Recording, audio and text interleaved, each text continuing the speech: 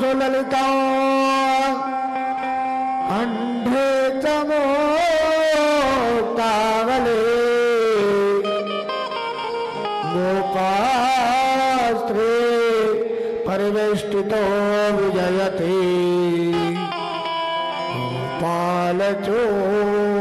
गोपालचूडामणि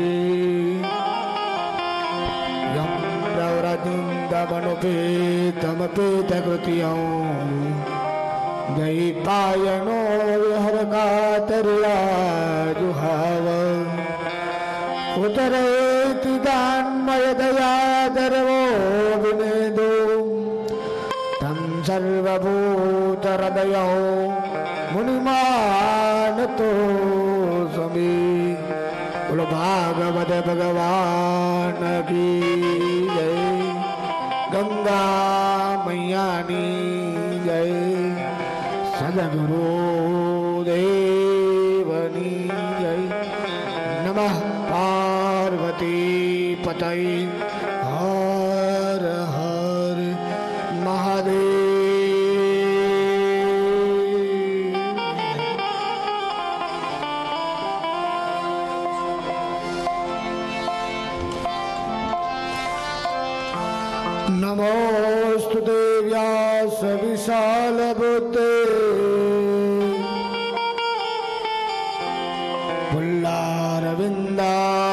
पुल्लारविन्दाय तपातनितरम् तेन त्वया भारततैलपूर्णो मृजवालितो ज्ञानमयः प्रदीप कृष्णकनया लाल की भागवत भगवान की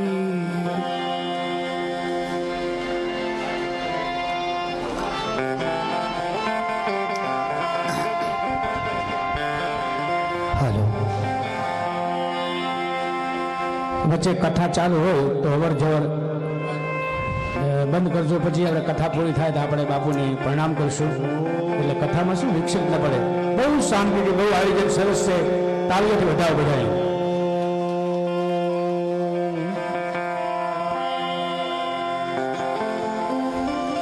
નમો ભગવતે નમો ભગવતે. વાસુદેવાય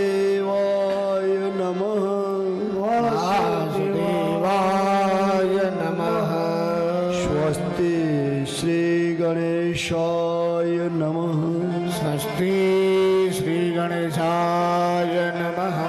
શ્રી સરસ્વત્યાય નમઃ. શ્રી સરસ્વત્યાય નમઃ. શ્રી ગુરુદેવતાભ્યો નમઃ. શ્રી ગુરુદેવતાભ્યો નમઃ.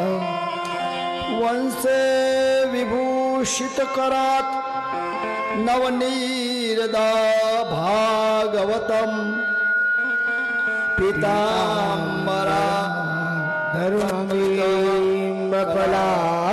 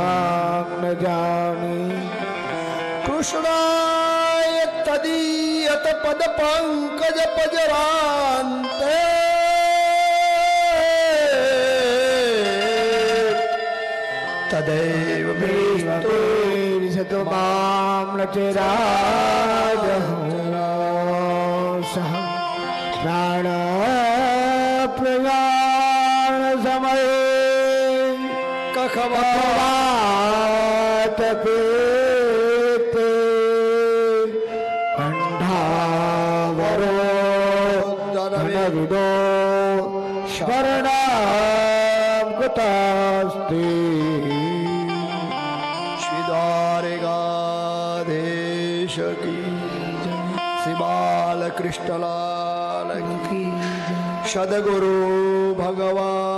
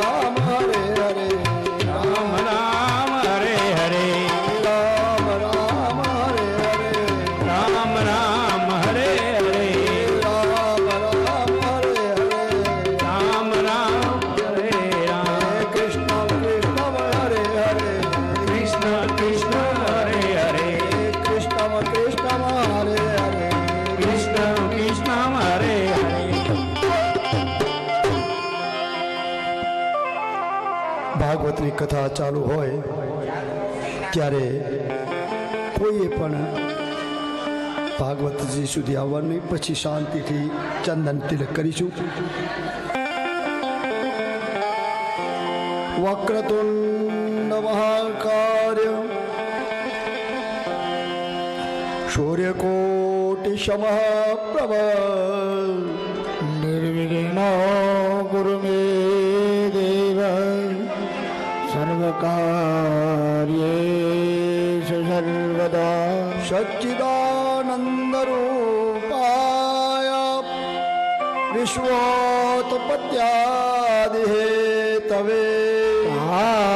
આત્રય વિનાશાય શ્રીકૃષ્ણાય વયણ નમઃ વાષ્ણાત વાસુદેવસ્ય વાસિતમ મૃગત્રયમ સર્વભૂત નિવાસોષી વાસુદેવ નમોસ્તુતિ સર્વ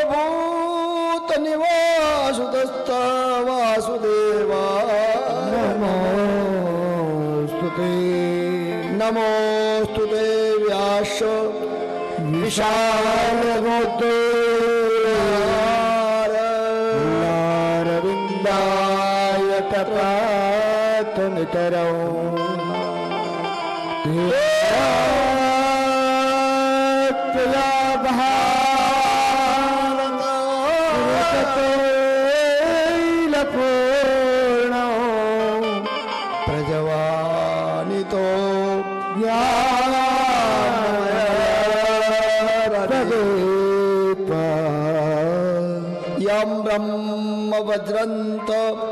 मरवरल्लमनवे तमपेतमृतवृभुयो द्वैपायनो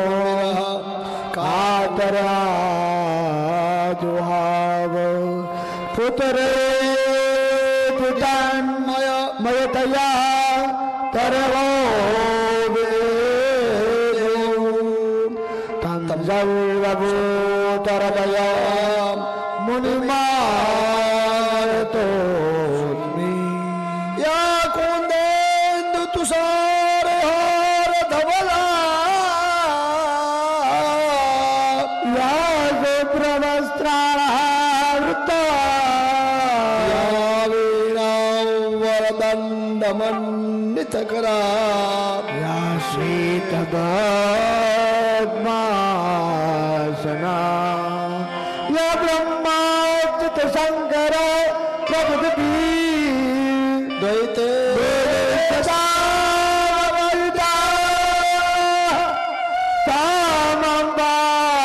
સરસ્વતી ભગવતી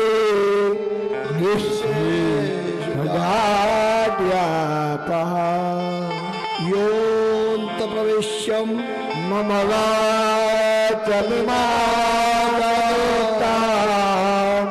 સંદીવયત્યખિલ સત્તિદરાસદાના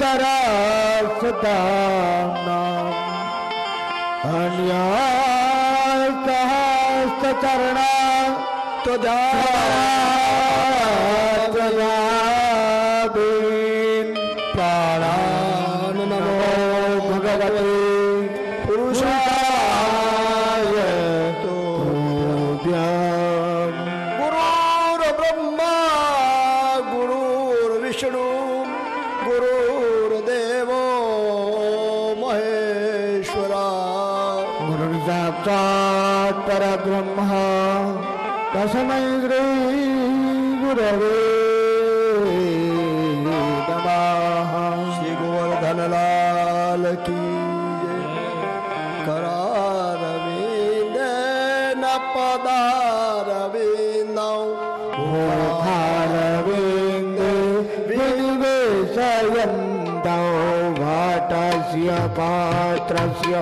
भूतेश यान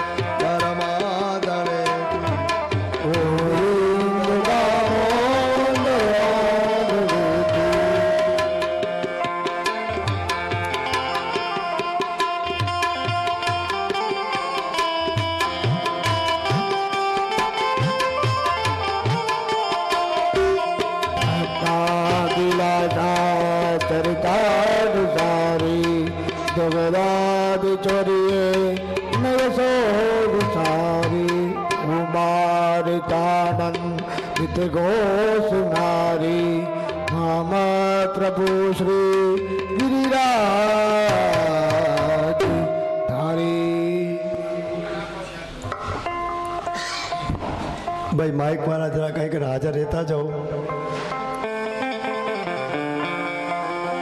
ખોટી સીટીઓ મારે છે.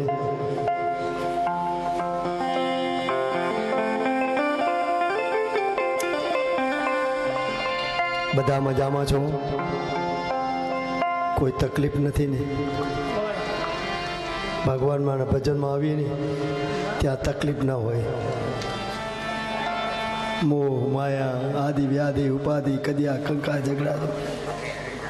બધો પરમાત્માના ચરણની અંદર અર્પણ કરી ફક્ત ભગવાન, ભગવતનું ભજન કરવાનું છે. સૌ આપણે શ્રોતાઓ ભગવાનનું ભજન કરવા આવ્યા છીએ. કેટલે દૂરથી આવ્યા આવીશું?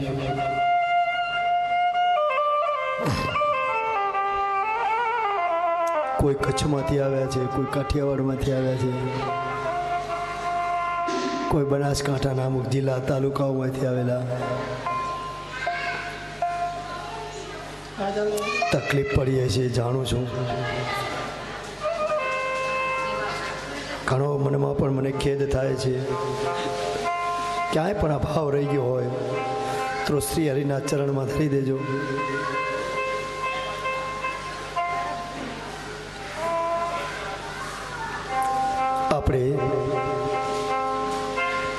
ગઈકાલે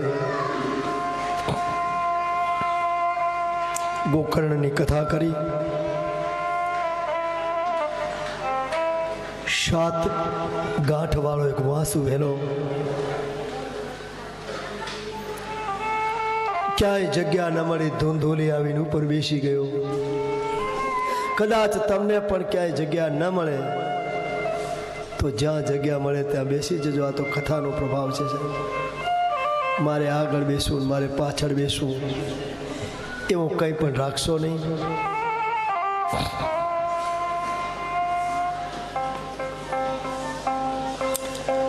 જન્માન દશ્યતો યાદ કરતા ચાર્થે સદેવનશ્વરા. તેને બ્રહ્મ હૃદય યાદ કવય.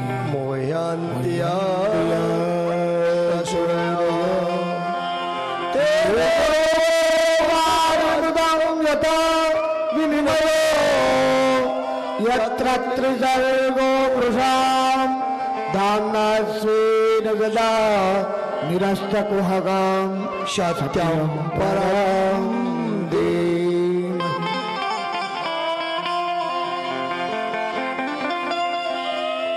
સત્ય કર્મ કરવા બેસીએ ને, અનેક વિઘ્નો આવે.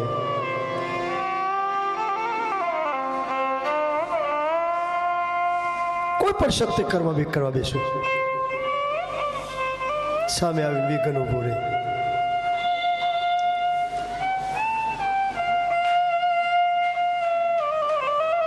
આ બધાને દૂર કરવું હોય તો શું કરવું?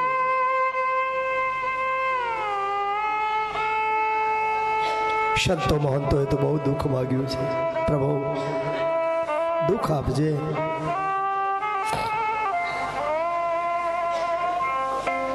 એનું મંગળાચરણ કરવું જોઈએ. મંગલનું આચરણ કરો.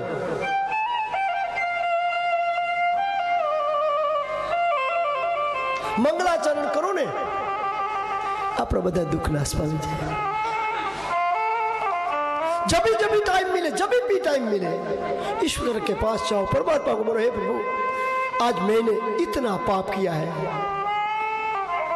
मैं पापी हूँ प्रभु। मैं अज्ञानी हूँ। मैं कुछ नहीं जानता प्रभु, कैसे पूजा करने का क्या कर शू पूजा कर भी क्या करूँ कहीं जानता हूँ। प्रभु મારા બાળ બચ્ચાના નિર્વાહને અર્થે ક્યાંક કદાચ જૂઠો બોલાઈ ગયો છે સાંજ પડે ને એટલે પાંચ મિનિટ ભગવાન પાસે બેસો. પણ પાંચ મિનિટ જ્યાં બેસવા જશો, દાદા દાદા કરતો છોકરો આવશે. બહુ સરસ, સાચી વાત છે. આવે. પણ ધ્યાનમાં બેસો ને. ત્યારે તો સંતો મહંતો એમ કીધું છે કે એકાંતમાં જઈને ધ્યાન ધરો. અને એકાંતમાં જઈને જો તમે ધ્યાન ધરશો ને, તો કદાચ તમને વિઘ્ન નહીં આવે. એનું મંગલાચરણ કરવું જોઈએ. મંગલાચરણ, મંગલનું આચરણ કરો.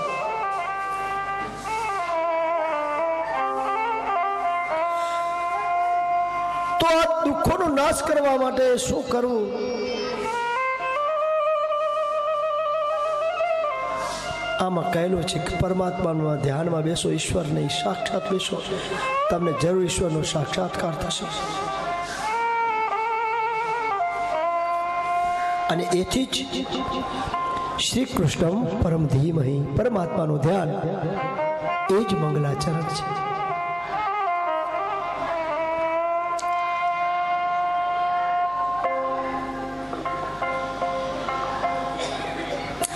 પરમાત્માના ધ્યાનથી આ બધું મળે છે.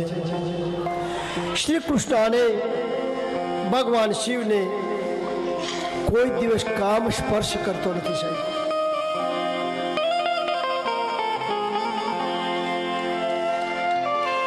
નથી ભગવાન શિવને કામ સ્પર્શ કરતો, નથી ભગવાન વિષ્ણુને કામ સ્પર્શ કરતો.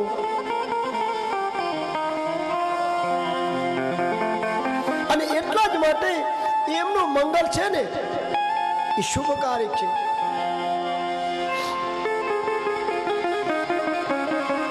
ભાગવતની અંદર ત્રણ મંગલાચરણ બતાવવામાં આવ્યા છે.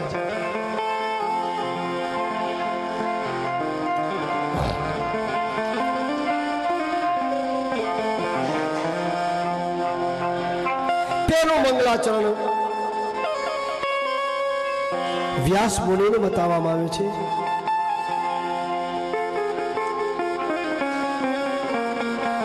પહેલા સ્કંદમાં છે. બીજું સુખદેવજીનું મંગલાચરણ કરવામાં આવ્યું છે, જેની અંદરથી આ ભાગવત પ્રગટ થઈ છે. અને ત્રીજું મંગલ છે ને, એ શુદ્ધજીનું બતાવવામાં આવ્યું છે. શુદ્ધજીનું મંગળ આમ તો જોવા જાઓ, તો છેલ્લે બતાવવામાં આવ્યું છે, પણ એ ત્રીજું મંગળાચરણ છે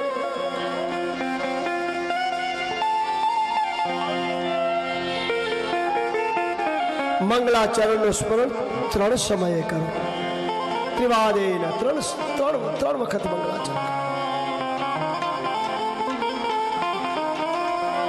સવારે ઉઠો ત્યારે તમારા ઈષ્ટદેવના દર્શન કરો. મધ્યાહને જ્યારે ભોજન કરો, ત્યારે પણ પ્રથમ પરમાત્માના દર્શન કરો. અને સાયંકાલે કે સાંજે સૂતા પહેલા પણ પરમાત્માનું મંગળાચરણ યાદ કરો.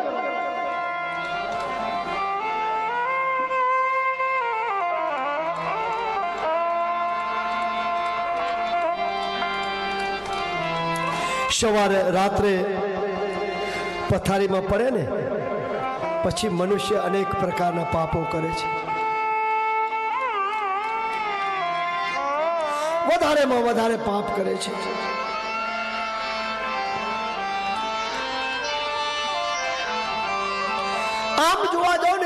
મનુષ્યની બુદ્ધિ બે વખત બગડે છે.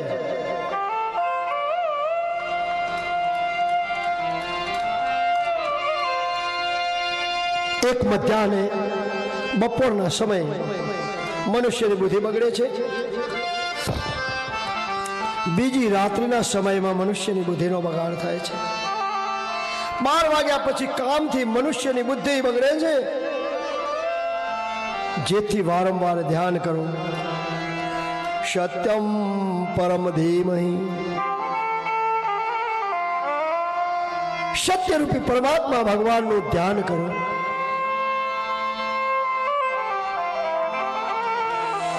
એકમ સત્ય વિપ્રાહ બહુધાવન વદતી ઈશ્વરના સ્વરૂપનો અનેક છે, પરમાત્માના સ્વરૂપો તો અનેક છે।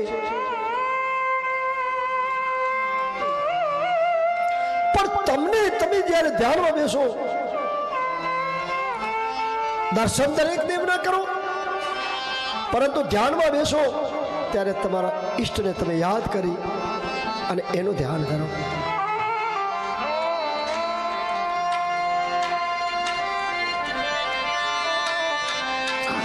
આમ જોવા જાઓ તો ધ્યાન વગર પરમાત્માનો કોઈ સાક્ષાત્કાર થતો નથી. એકમ શદ્ર વિપ્રા બહુધા વદંતે એકમ શાંતમ બહુધા કલ્પવંતી એક પરમાત્મા અનેકની રુચિને અનુસરી અનેક અનેક સ્વરૂપો ધારણ કરે છે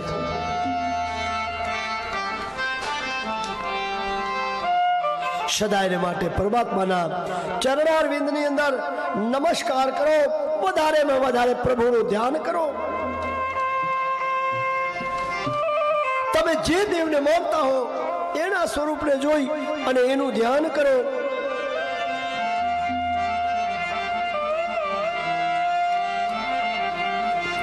માતા કઈ કઈ પણ પ્રભુ શ્રી રામને વલકલ વસ્ત્રો આપી અને વિદાય કર્યા હતા વનવની અંદર. એમને આજ્ઞા કરી કે રામ, તમે વનમાં જાઓ તો પણ પરમાત્મા પ્રસન્ન છે, સાહેબ. આપને તો કોઈ થોડુંક કહે તો આપણે કેટલા બધા તડપડી જઈએ છીએ. એક થોડુંક દુઃખ પડે, તો તો આપણે આભને ઊંચો ચડાવી દઈએ. જય હો બાપુ દુઃખ તો આવે ને જાય ભાઈ સમુદ્રમાં ઉછાળ આવે પણ પાછો બેસી જાય અગર તમે તમારા ક્રોધને શાંત રાખશો ને એક બે મિનિટ માટે તો તમે ક્યાંય ખરાબ કરતા અટકી જશો સાહેબ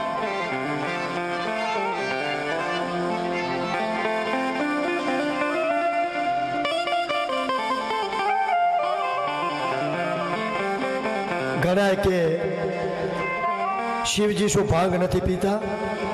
શિવજી શું ગાંજો નથી પીતા? તો અમે શું કામ ના પીએ? અલા શિવજી તો ઝેરે પીતા હતા, પીઓ ને તમે? શિવજીએ તો ઝેરે પીધો તો પીઓ ને તમે, લો હાલો પીઓ.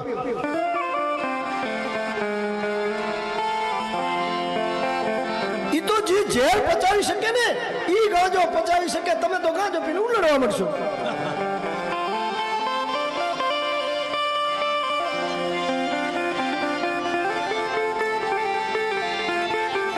દેવોનો દેવ, મહાદેવ જ પચાવી શકે છે મારા તમામ તાકાત નથી. અને ક્રોધને પણ એ જ પચાવે.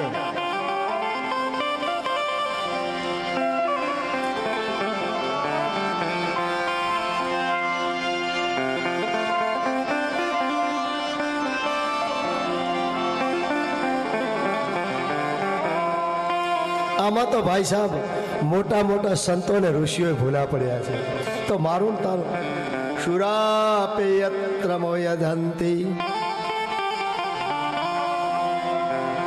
પ્રથમ સ્કંદની શરૂઆત કરતા પહેલા શુદ્ધજીએ સુખદેવજીનું મંગલાચરણ કર્યું છે અને એ ભાગવત પુરાણ સુખદેવજી મહારાજે પરીક્ષિતને કર્યું છે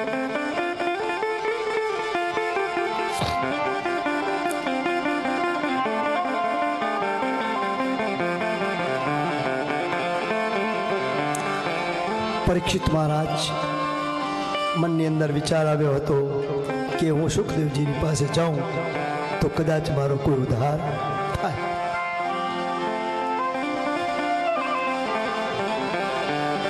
શ્રી કૃષ્ણની પરમ ભક્તિ તમે કરો ને, તો તમારો અંદર આત્મા છે ને, એ સંતોષ પામે છે.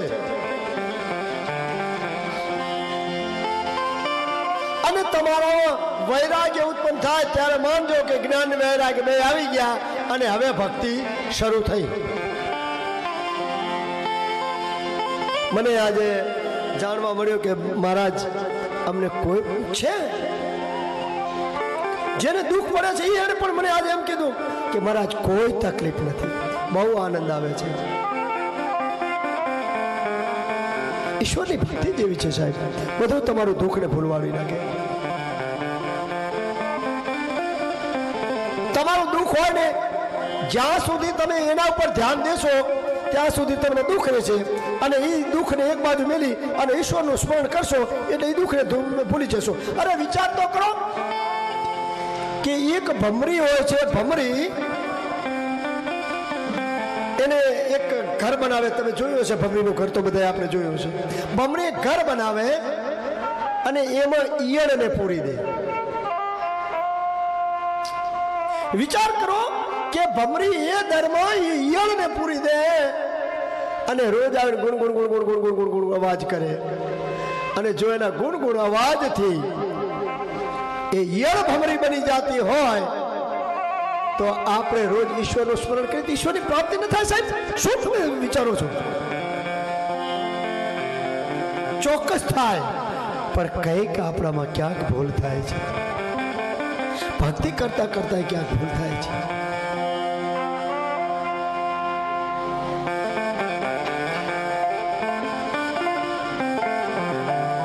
આમ, જ્યારે જ્યારે ભજનમાં બેસું, ત્યારે આપણે જ્ઞાન અને વૈરાગ્યની ઉત્પત્તિ થાય છે.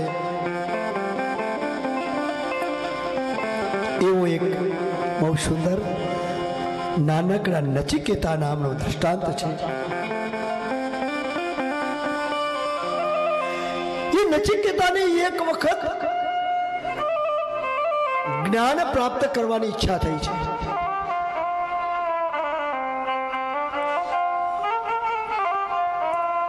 તેણે એના પિતાજીને પૂછ્યું કે પિતાજી,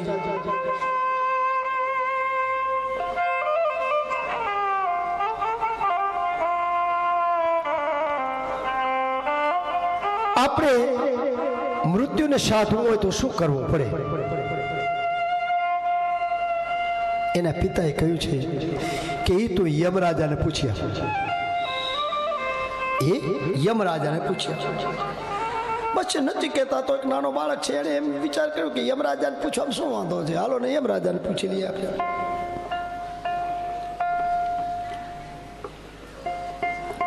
કારણ કે પિતાની આવી વૃત્તિ જોઈ નચિકેતાના મનની અંદર થયું.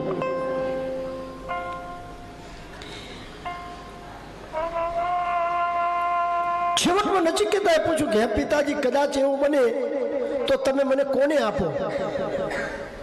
એના પિતાએ કહ્યું કે હું તને યમરાજાને આપું. નચિકેતાના પિતાના શબ્દો મનમાં આવી અને મગજમાં ઠસી ગયા. સાહેબ, યાદ રાખજો, કાલે પણ મેં કીધું તું ને આજે પણ કેવું છું કે નાના બાળકના હાથમાં મોબાઈલ હશે તો એની ઇન્દ્રિયો બહુ નાજુક હોય છે, એની. એમાં તરત પ્રવેશ કરી જશે. તમારા બાળકને બચાવો આમાંથી મોબાઈલ બહુ ઓછો આપો. બે થપ્પડ મારશો તો ચાલશે. એને સમજાવવાની કોશિશ કરો, મોબાઈલ લઈ લો. મોબાઈલ મત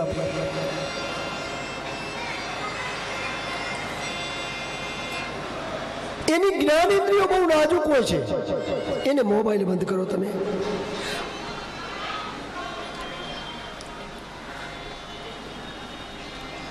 ગુસ્સે થઈ પિતાએ એને કહ્યું કે હું તને યમરાજાને આપા નચિકેતાને પિતાનો આ શબ્દ મનની અંદર ઠસી ગયો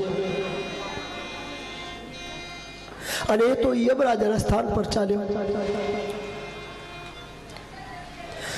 ત્યાં આગળ જઈને યમરાજા પાસે ગયો છે ત્રણ દિવસ સુધી એને ખાધા પીધા વગર ભૂખ્યા ને તરસ્યા રહી અને ઊભો રહ્યો છે. હવે વિચાર કરો ભૂખ્યો તરસ્યો આ બાળક એક દિવસ માટે ઊભો રહે? તો એનું તપ ને સાધના કેટલું ધ્રુવજી પણ નાના હતા. એમણે પણ તપ અને સાધના કરી હતી.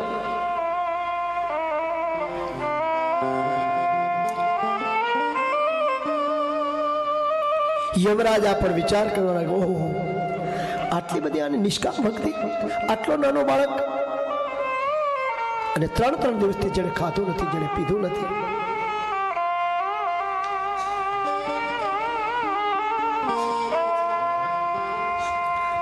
ત્યારે નચિકેતા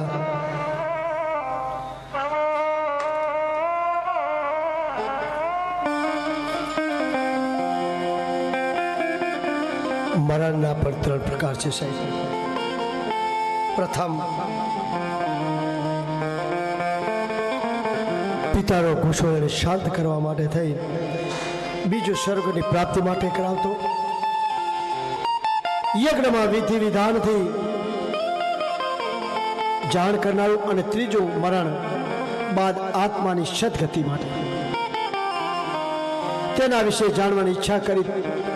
આવું નચિકેતાએ યમરાજાને પૂછ્યું છે કે, હે મહારાજ, મને તમે એ સમજાવો, મરણના પ્રકાર, મરણના પ્રકારો સમજાવ્યા છે. અને ત્રીજું મરણ આમ ત્રણેયથી શી ગતિ થાય છે? તેના વિશે જણાવવાની ઈચ્છા કરી, તેનું ત્રીજું વરદાન એને બ્રહ્મ વિદ્યાને લગતું હોય. યમરાજાએ તેને બીજા વરદાનો માનવાના કહ્યા.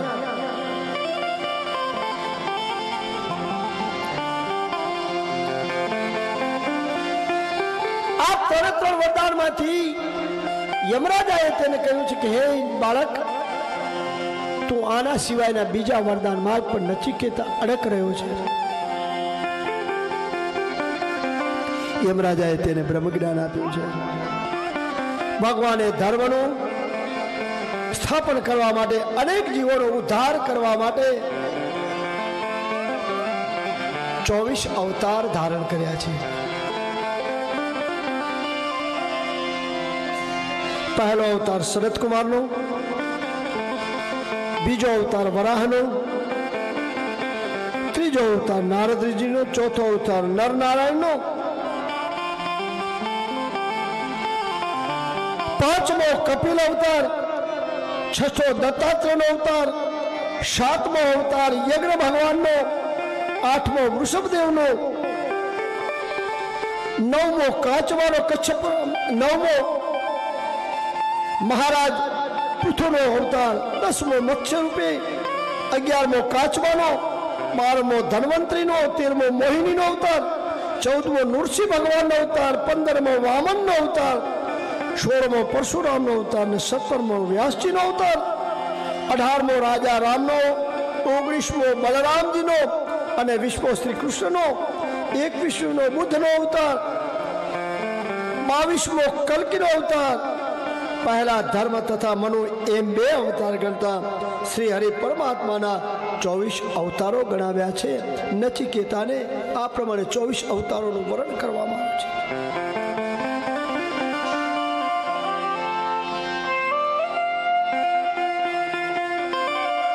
સૌરભજીએ પૂછ્યું છે કે પ્રભુ, આ શ્રીમદ ભાગવતની કથા કયા યુગમાં અને કયા સ્થળ પર થઈ હતી? એ અમને કહો.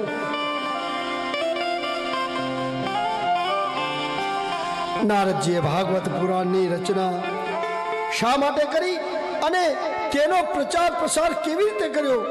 સુતજીએ કહ્યું કે દ્વાર દ્વાપર યુગમાં પરાશા ઋષિએ અને સત્યવ્રતિથી ભગવાનનો અંશ રૂપે વ્યાસજીનો જન્મ થયો?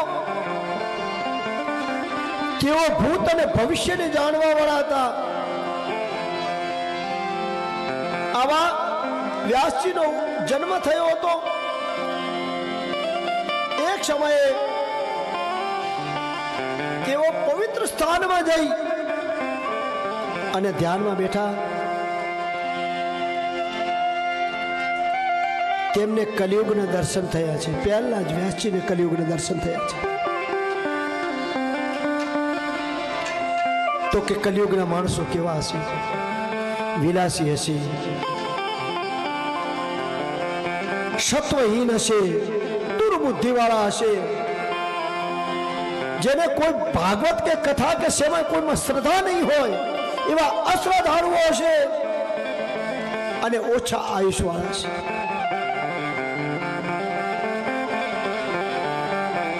એમાંથી એમણે વેદના ચાર વિભાગ કર્યા. ઋગ્વેદ, યજુર્વેદ, સામવેદ, અથર્વેદ.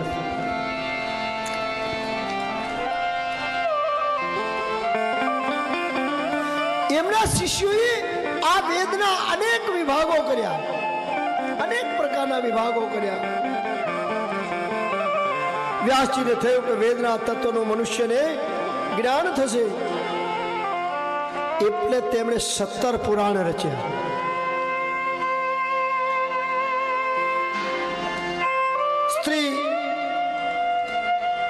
પતિત શુદ્ર દ્વિજાતિ આદિવેદ શ્રવણના અધિકારી ન હોવાથી વ્યાસજીએ તેમના કલ્યાણ અર્થે મહાભારતની એક રચના કરી અઢારમું પુરાણ.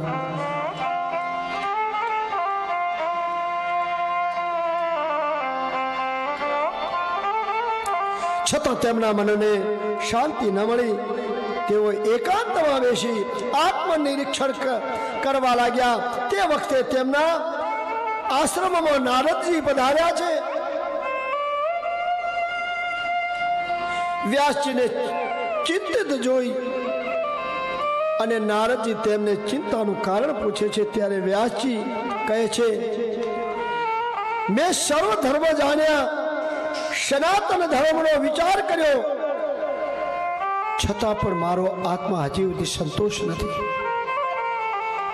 હે નાર હે નારદજી, મને સંતોષ થતો નથી.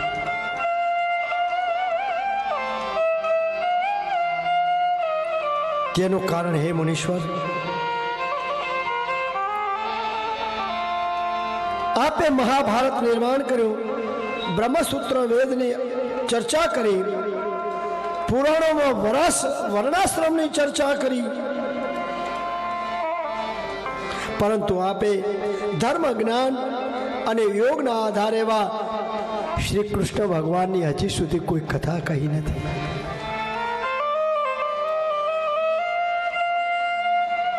તમે એવો કોઈ પુરાણ રચો કે જે મનુષ્યનું કલ્યાણ થઈ જાય? એવું કોઈ પુરાણ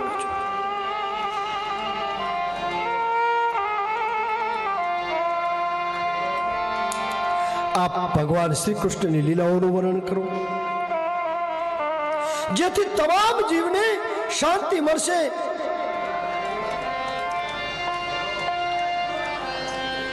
આ માટે જેમ વ્યાસજીને શાંતિ થાય ને, એટલા માટે નારદજીએ એમના પૂર્વની કથા કહી છે કે પૂર્વકાળે હું કોણ હતો અને ત્યાર પછી હું નારદ કેવી રીતે બન્યો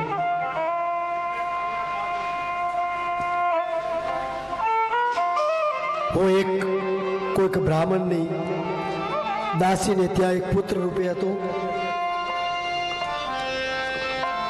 નાનપણમાં જ પિતાના મરણ થયું. નારદજી કહે છે, શું થયું કે પ્રભુ તમે મારી મારું બધું તમે સાંભળો પહેલું. મારી માતા એક દાસીનું કામ કરતી હતી. દાસીના રૂપમાં કામ કરતી હતી. પૂર્વજન્મમાં વેદ જાણનાર બ્રાહ્મણની એક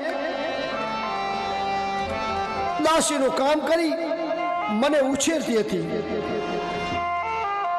અને કદાચ ક્યાંક મારા ભાગ્યનો ઉદય થવાનો મારા મારો તમારો પણ ક્યાંક જો ભાગ્યનો ઉદય થવાનો હોય ને, તો જ આપણે આવી ભાગવત કથામાં આવી શકીએ.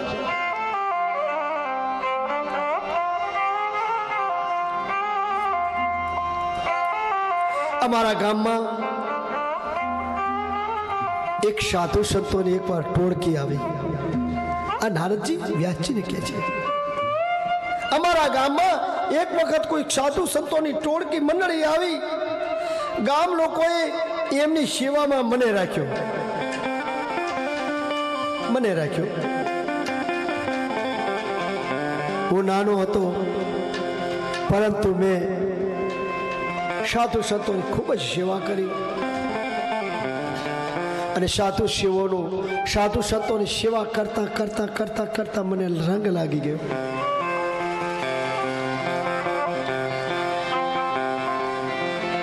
મૂર્ખાઓની સંગાથે બેસો તો એવું જ્ઞાન પ્રાપ્ત થાય. સાધુ સંતોની સંગાથે બેસો તો એવું જ્ઞાન પ્રાપ્ત થાય.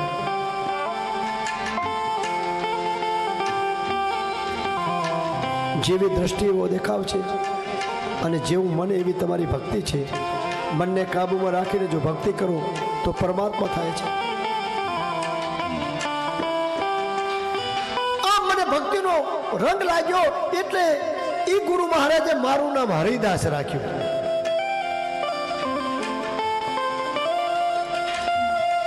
અને એ મારા ગુરુદેવના જે ભગવાન હતા, એના પર જે ગુરુ હતા, એ બાલકૃષ્ણ હતા. તેમણે શ્રી કૃષ્ણની ઘણી લીલાઓ સંભળાવી. તેથી મને કનૈયા તરફ આકર્ષણ વધ્યું અને મારા બીજા એક દિવસ મારી સેવાની તપસ્યા ખૂબ જ સુંદર થઈ. મારા ગુરુદેવે પોતાના પોતે જે જમતા હતા. એમાંથી એક એઠો કોળિયો મને આપ્યો. વિચાર કરો તમે.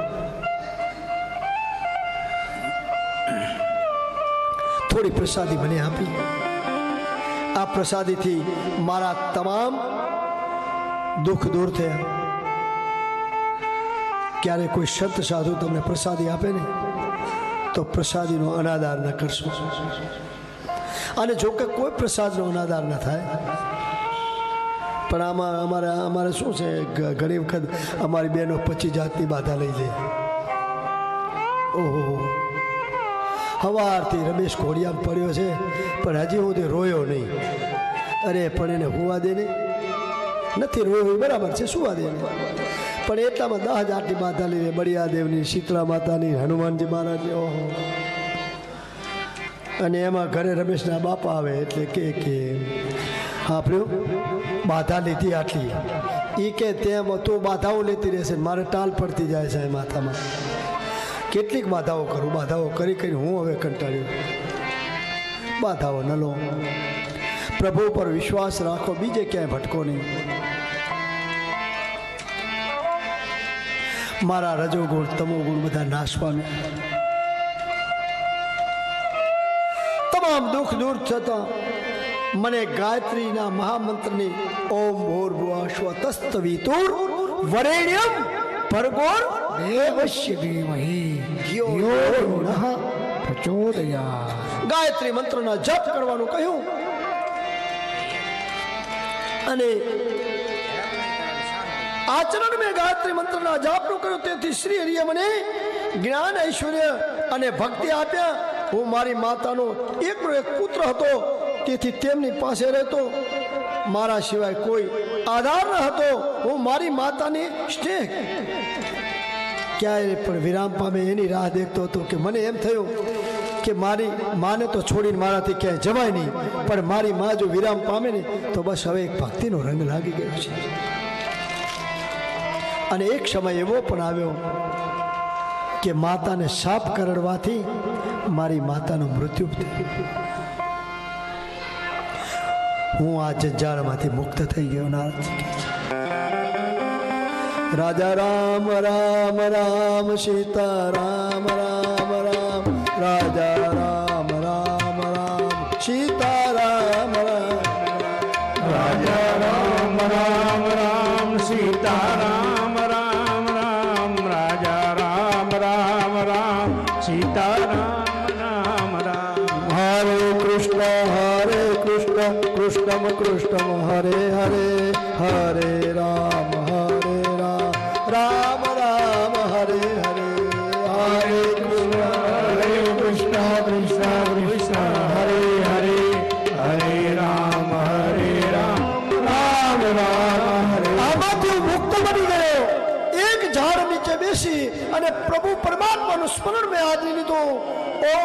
ભગવતે વાસુદેવાય નમ.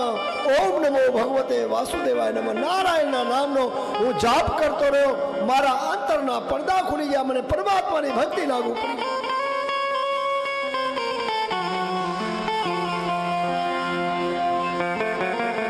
આમ કરતા કરતા મુક્તમાંથી જ્યારે હું બંધન થઈ ગયો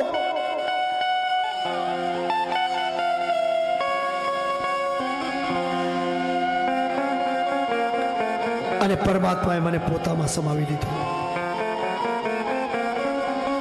એક હજાર યુગ બાદ ભગવાન નિંદ્રામાંથી જાગૃત થયા અને પરમાત્મા સામે એક હજાર વર્ષ સુધી બેઠો એક હજાર વર્ષ પછી પરમાત્મા નિંદ્રામાંથી જાગૃત થયા. અને એમ કહેવાય છે કે એમની ઇન્દ્રિયોમાંથી હું અને મરીચ ઋષિ ઉત્પન્ન થયા. વિષ્ણુ ભગવાનની કૃપાથી હું ત્રણેય લોકમાં વિચરવા લાગ્યો.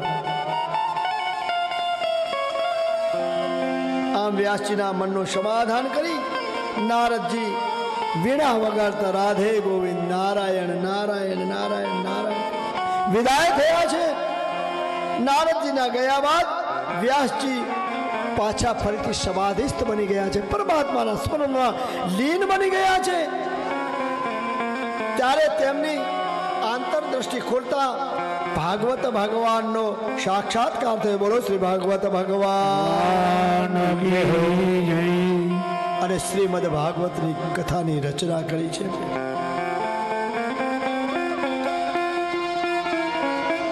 આ ગ્રંથના, શ્રીમદ ભાગવતના ગ્રંથના પ્રચાર કરવા માટે એમણે સુખદેવજીની પસંદગી કરી છે.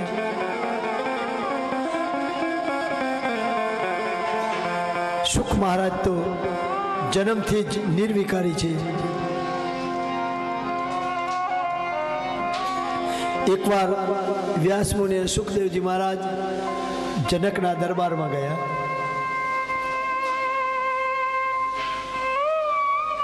હવે જનકના દરબારમાં ગયા, બાપ દીકરો બને બેઠા છે, એક બાજુ વ્યાસજી બેઠા છે, બીજી બાજુ સુખદેવજી મહારાજ બેઠા છે. વચ્ચે આવીને અનસુયાજી બેઠા.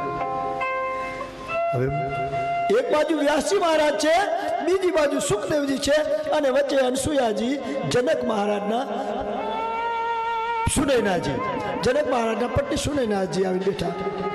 એટલે વ્યાસજી થોડા ખસ્યા. એટલે જનક મહારાજે પૂછ્યું કે તમને શું લાગ્યું?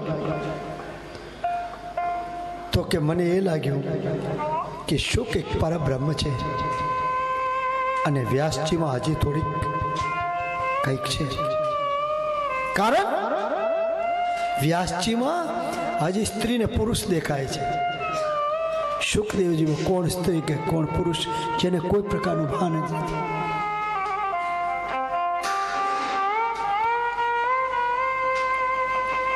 સુખદેવજી મહારાજ અને વ્યાસજી મહારાજ ત્યાંથી નીકળ્યા છે. ગોપીઓ સ્નાન કરી રહી છે અંદર. નદીમાં. સુખદેવજી મહારાજ નીકળ્યા પહેલા.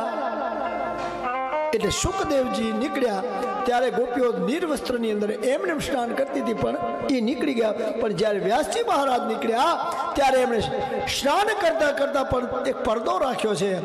એટલે સુખદેવજીને વ્યાસજી મહારાજ પૂછે કે છે કે હે સુખ? તો કે હા. આનું કારણ શું? મને જોઈ અને આ બધી ગોપીઓ સ્નાન કરતી હતી. એમણે વસ્ત્રને ઢાંકી લીધું અને તું એમને ચાલ્યો ગયો તો કે પિતાજી, એમાં નિર્વિકારી બનવું જોઈએ.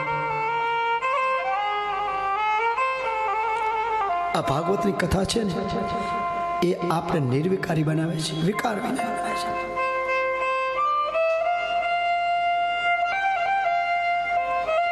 પરીક્ષિત રાજા ઉત્તમ શ્રોતા છે. આખી ભાગવતની અંદર પરીક્ષિત તેવો કોઈ શ્રોતા નથી. અને સુખદેવ જેવો જેવો કોઈ વક્તા નથી.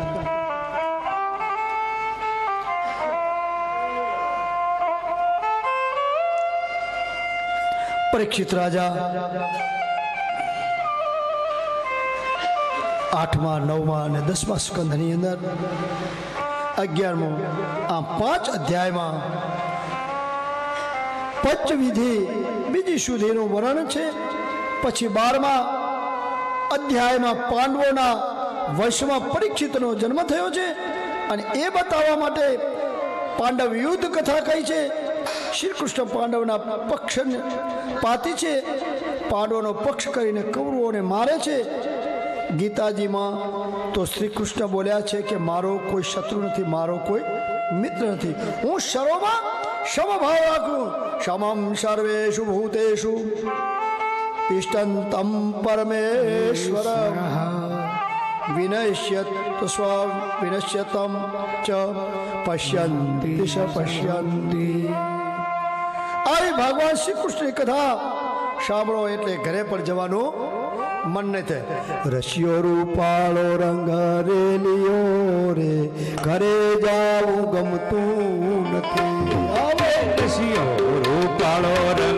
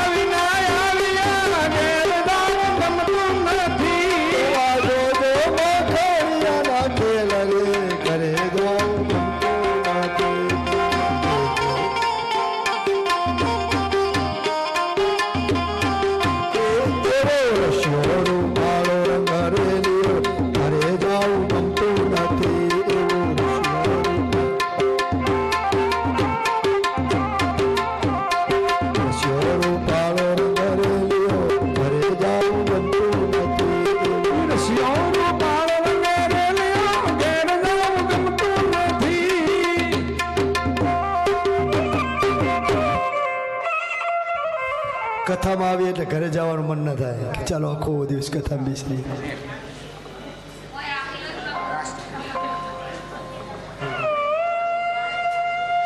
અહીં પાંડવો અને કૌરવો વચ્ચે યુદ્ધ થયું. ત્યારબાદ અસ્વસ્થામાં દ્રૌપદીના સ્તુતેલા પાંચ પુત્રોની હત્યા કરે છે આવું બતાવવામાં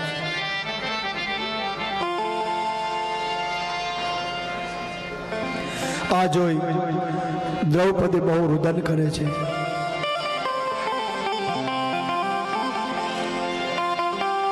અર્જુન ઉપર દ્રૌપદીના રુદનનો ભાર પડે છે. જેના પાંચ પાંચ પુત્રોને મારી નાખી જશે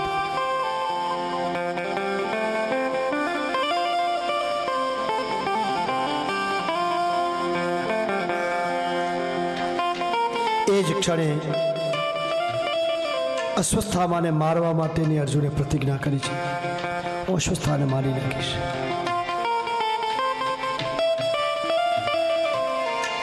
પોતાના પાંચ પાંચ બાળકોની હત્યાને જોઈ બહુ દુઃખ લાગી આવ્યું છે. અર્જુન પોતાનું ગાંડેવ લઈ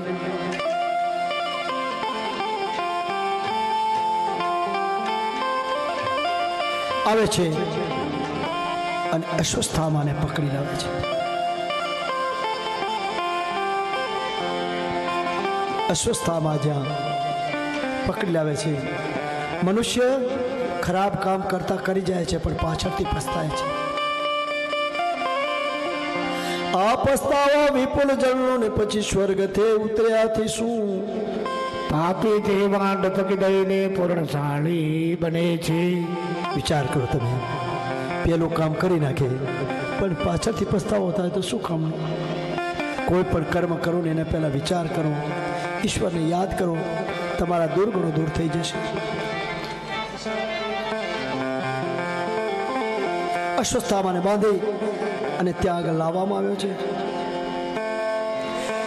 પોતાના પાંચ બાળકોની હત્યા કરનાર અસ્વસ્થામાનું હૃદય પીગળી જાય છે, એને વિચાર કે, ઓહો, હું તો મારવા ગયો તો પાંડવોને, પણ મેં મારી નાખ્યા નાના નાના બાળકો. અસ્વસ્થામાં પીગળી જાય છે.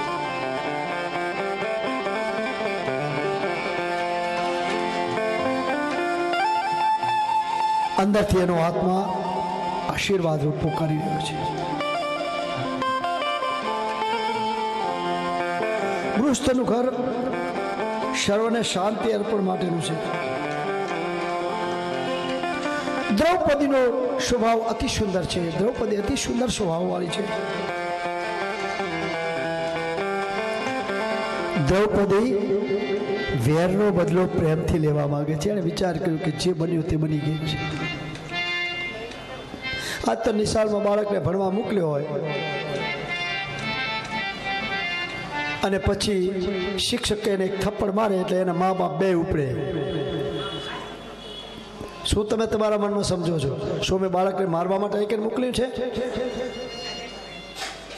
નહીં, મેરે ભાઈ બહેન, કદાચ કોઈ શિક્ષક એને ટોકે નહીં, તો એના ભલા માટે છે. આવી વિચારસરણી કોઈ દિવસ લાવશો નહીં મનમાં. તો તમારો બાળક કંઈક આગળ આવશે. અહીં કને દ્રૌપદીનું પણ મને પીગળી ગયું છે. એણે વિચાર કર્યો કે બ્રાહ્મણ છે. અસ્વસ્થામાં બલિર્વ્યાસો હનુમાંશ વિભીક્ષણ કૃપા પરશુરામશ્ચ શક્તિ તે ચિરંજીવી સાત ચિરંજીવો થયા એમાં આજે પણ એમ કહેવાય છે અસ્વસ્થામાં હજુ પણ છે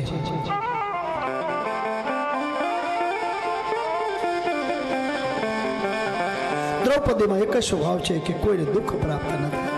હું દુઃખ સહન કરી લઈશ, પણ બીજાને દુઃખ ના થાય। મેં કાલે કીધું હતું ને કે કોઈ દિવસ પાછળ ઊભા રહીને કોઈની વાતો ના સાંભળવી. નકર અવતાર એવો આવે.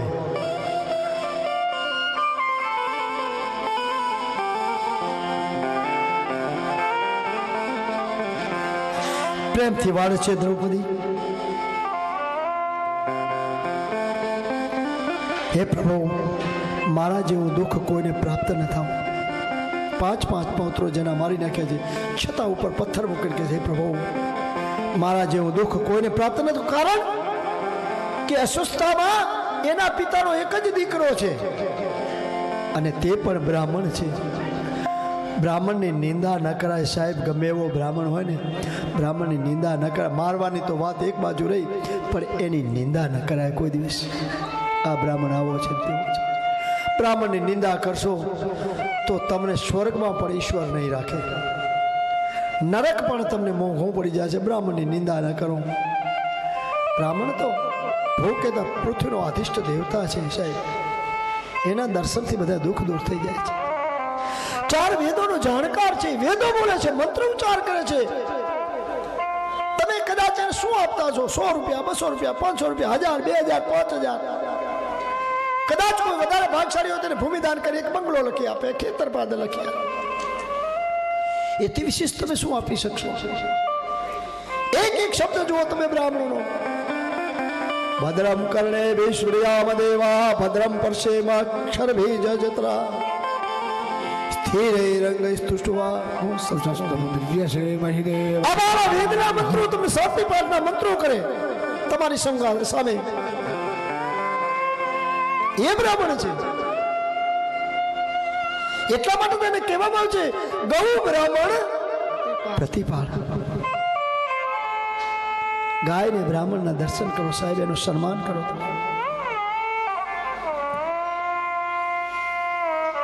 બીજાને રડાવવાનો દ્રૌપદીનો સ્વભાવ નથી. શ્રી કૃષ્ણ અર્જુનના સારથી બન્યા છે. દ્રૌપદી તેમને કહે છે, અસ્વસ્થામાને મારશો નહીં, પણ ભીમસેનને આ વાત ગમી નહીં. એક તો આપણા પાંચ પાંચ પુત્રો મારી નાખ્યા છે વળી પાછી એને મારવા ના પાડે દ્રૌપદી, એટલે શું?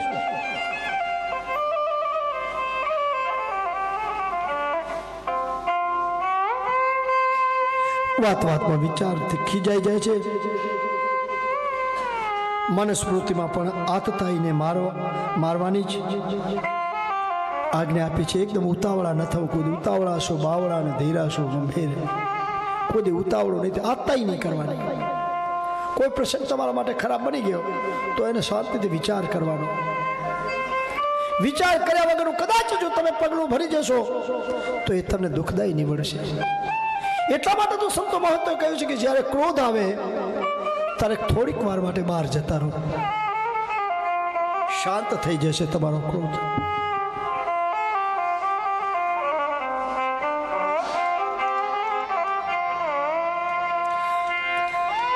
આમાં જે ખરાબ કર્મ કરે, એને જ મારવાની છૂટ આપી છે.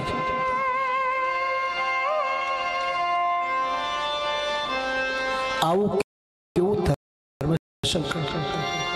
નામાં અસ્વસ્થામાં કૃપાચાર્ય અને કૃતવર્મા કૃતવર્મા આ ત્રણ રહ્યા છે.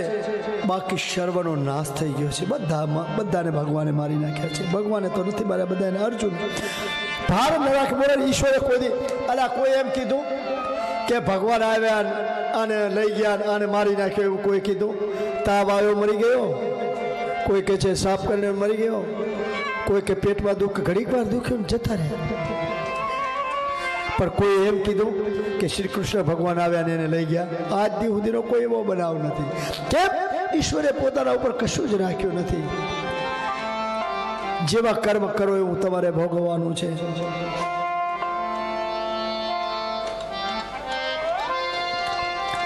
અસ્વસ્થામાને અહીં દ્રૌપદીએ કહ્યું છે કે એને મરાય નહીં, પણ શ્રી કૃષ્ણએ એકલી વાત કરી કે એક કામ કરો.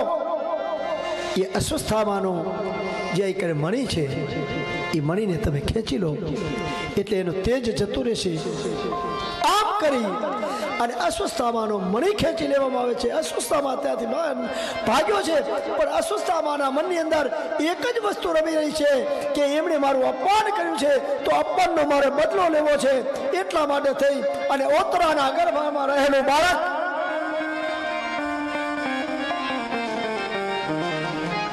પોત્રોના ગર્ભમાં રહેલું બાળક એના ઉપર એણે બ્રહ્માસ્ત્ર ચલાવ્યું છે. હવે આ વખતે એણે બ્રહ્માસ્ત્ર તો ચલાવ્યું, પણ એ બ્રહ્માસ્ત્રને પાછું વાળવાનો એ કોઈ મંત્ર જાણતો નથી.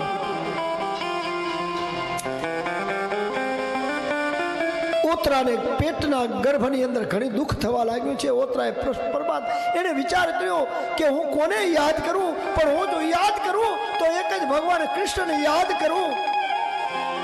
દુઃખમાં તો સાથે ભગવાન કૃષ્ણ સિવાય કોઈ નથી. સુખમાં સૌ સાથ દે, પણ દુઃખમાં કોઈ દેતું નથી.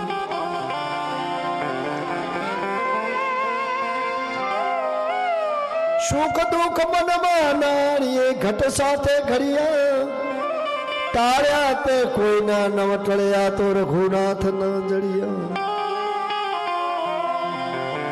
તાર્યા તે કોઈના આ તો રઘુનાથ દુઃખ ને સુખ ને જે સમાન માને છે, એ કોઈ દુઃખી થતું નથી. ઈશ્વરનું આપેલું દુઃખ આપણે સહન કરવું જોઈએ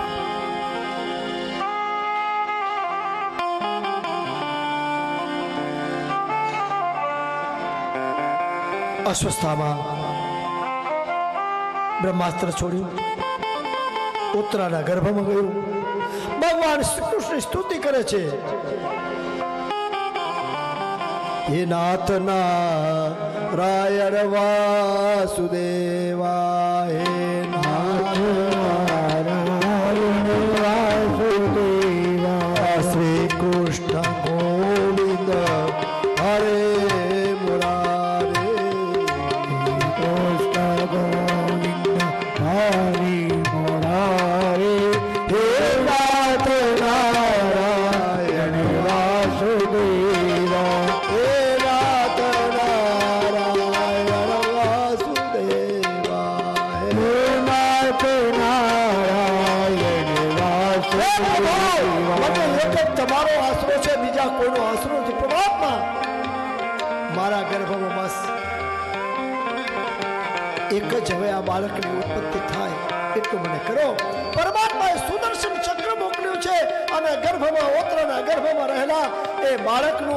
બાળકનું એમણે રક્ષણ કર્યું અમનમ્ય વિખ્યાત્મ નામ સુદર્શને ને શર્વાત્રેણ સ્વારામ રક્ષાયા બ્રહ્માસ્ત્ર છોડ્યું ભગવાને સુદર્શન ચક્ર છોડ્યું ઓત્રના ગર્ભમાં રહેલા ગર્ભનું ભગવાને રક્ષણ કર્યું. અને એ ગર્ભમાં એ બાળકને શંખ ચક્ર ગદા પદ્મ વનમાલા સહિત પરમાત્મા શ્રી કૃષ્ણના દર્શન થયા છે. બોલો શ્રી કૃષ્ણ કનૈયા. લાલ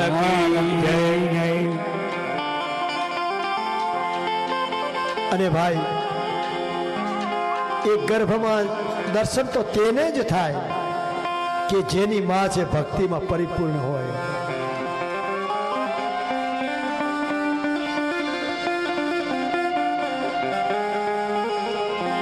જેની માં વિરાંગના હોય જેની માં ભક્તિવાન હોય, વીરાંગના હોય, એના વીર પાકે, તે ભક્તિવાન હોય, એના ભક્ત પાકે, એમાં કોઈ ના નથી.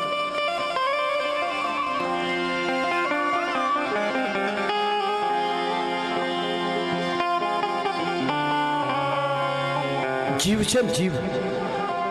એ જ્યારે માતાના ગર્ભમાં હોય છે ને ત્યારે નરકમાં હોય છે.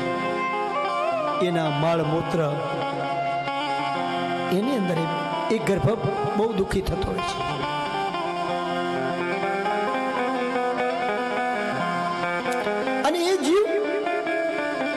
ગર્ભમાં જ દુઃખ ભોગવે છે. ગર્ભવાસ અને નર્કવાસ એ બેમાં કોઈ અલગ નથી, બે એક જ સરખા છે. ભગવાન શ્રી કૃષ્ણે પરીક્ષિતનું ગર્ભમાં રક્ષણ કર્યું છે.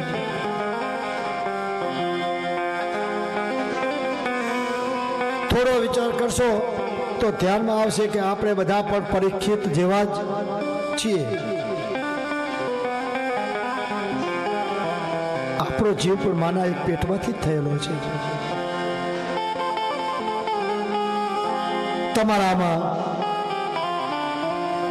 તમારા ઘરમાં નાની દીકરી હોય યા તો નાની વહુ હોય, અને એના પેટમાં જો બાળક રહે તો એને તમે ભાગવતની જ્ઞાન આપજો.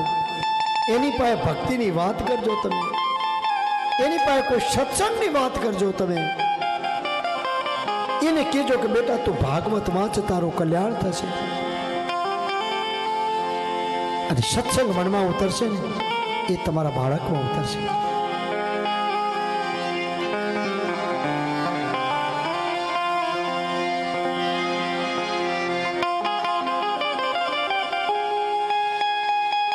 આમ, ભગવાને પરીક્ષિતનું રક્ષણ કર્યું છે.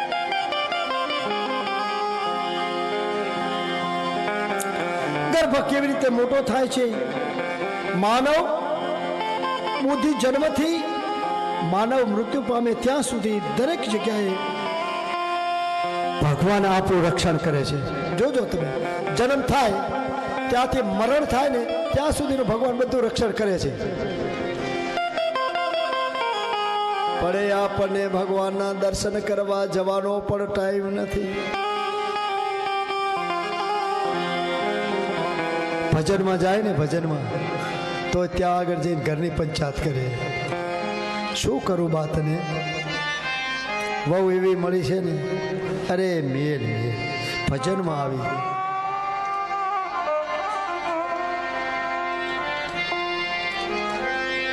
કોઈ દિવસ ભજનમાં જાઉં ને, અને એમાં એક વસ્તુ તમને કહી દઉં. તમારી દીકરી જેમ પાર્કે ઘરે છે એમાં બીજાની દીકરી તમારા ઘરમાં આવી છે. એને કોઈ દિવસ અલગ સમજશો નહીં. હા, એને થોડો સમય આપજો. કેમ કે તમારી દીકરી જેમ તમારાની અંદર બધું ઓળખી ગઈ છે કે મારી માને શું જોઈએ, મારા બાપને શું જોઈએ, મારા ભાઈને શું જોઈએ. એમ પારકી દીકરી જ્યારે તમારા ઘરમાં આવે ને, ત્યારે એને એ ઘરની તો ખબર છે, પણ તમારા ઘરની ખબર નથી કે તમારા ઘરનું કેવી રીતનું વર્તન છે. એ જ્યાં સુધી ન જાણે, ત્યાં સુધી તમે એની મા થઈને રહેજો સાહેબ. જોજો, તમારા ઘરમાં કોઈ દી કલહ નહીં થાય. તમારો દીકરો પણ તમારી પાસે કોઈ દી એની પત્નીની ફરિયાદ કરવા નહીં આવે. પણ આજકાલ હું જોઉં છું સાહેબ, અહીંથી માં ફોન કરે, તને કાંઈ કીધું નથી ને? તને કાંઈ કીધું તો અમને કહેજે. નહીં સાહેબ, આ શિખામણ કોઈ દી દીકરીને ના આપો. કોઈ દિવસ ના આપો તમે. અને જો આ દીકરીને તમે શિખામણ આપજો, તો તમે એટલું રાખજો કે તમે દીકરીનું સુખ ઈચ્છતા નથી, પણ દીકરીનું દુઃખ તમે કહું છું કે કોઈ તું માને તારા સાસરા તરફથી કોઈ ફરિયાદ ન કરીશ. કંઈક દીકરી આવી છે સાહેબ, હું સુખી છું, માં, મને આનંદ છે.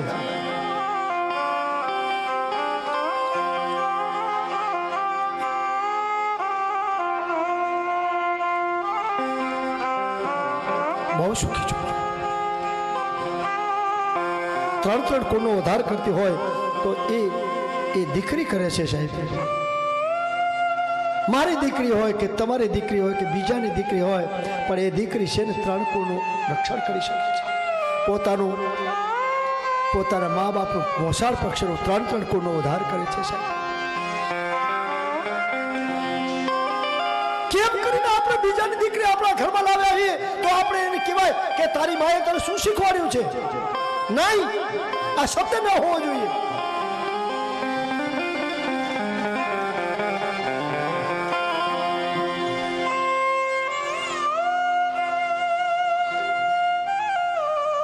અહીં ખરે ગર્ભવાસની અંદર પરમાત્માએ સુદર્શન ચક્રથી એ ગર્ભનું રક્ષણ કર્યું છે. અનેક બ્રાહ્મણોની હત્યાના પાપથી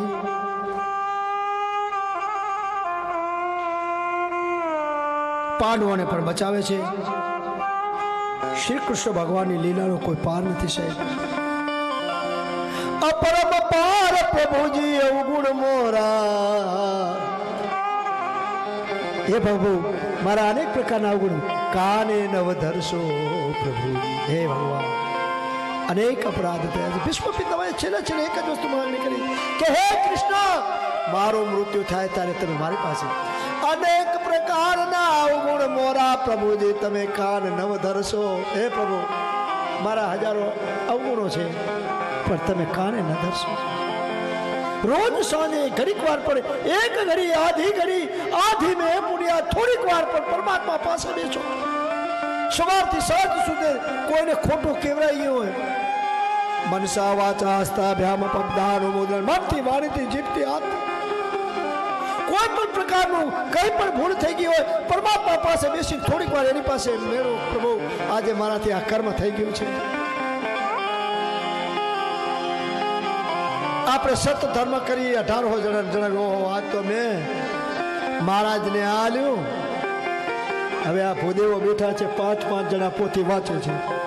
સવારથી સાંજ સુધી તમારા બેઠેલા જે પુત્ર પિતૃઓ છે ને, એમની મોક્ષ ગતિ ત્યાં પાંચ બ્રાહ્મણવાદ આચાર્ય તમને સવારથી આવે એટલે પહેલી બધી પૂજા કરાવે. ત્યાં આગળ પિતૃઓનું પૂજન કરાવે, સાત સાત દિવસ અને કદાચ તમે બધા ઉઠી અને આ કરે દસ દસ રૂપિયા મૂકો, એક વાત છે. તો દાએ પચે પચાસ રૂપિયા તમારા કદાચ દાય છે કે સાઠ રૂપિયા જાય. સાત દિવસના કેટલા જાય? હાથ છક ત્રણ ચારસો રૂપિયા જેવું જાય. ગંગાના કિનારે આવી આપણે કેટલા કપડાં ખરીદીએ મસાલા ખાઈ લઈએ છીકણીઓ ખાઈ લઈએ, તમાકુ ખાઈ લઈએ, બીડી પી લઈએ. કેટલા વાપરી નાખીએ? અને ગંગાને કિનારે આવીએ અને જો એક દિવસના ખાલી સાઠ રૂપિયા આપણે એક જણના મૂકી શકીએ.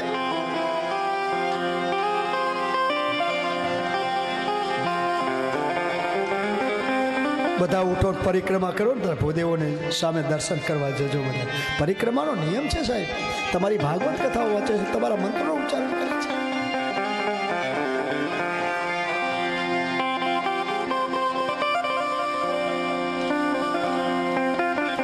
અને આમ પાંડવોનો પણ નાશ થયો. અરે, કૌરવોનો નાશ થયો. કૌરવ કુળમાં કોઈ રહ્યું નહીં.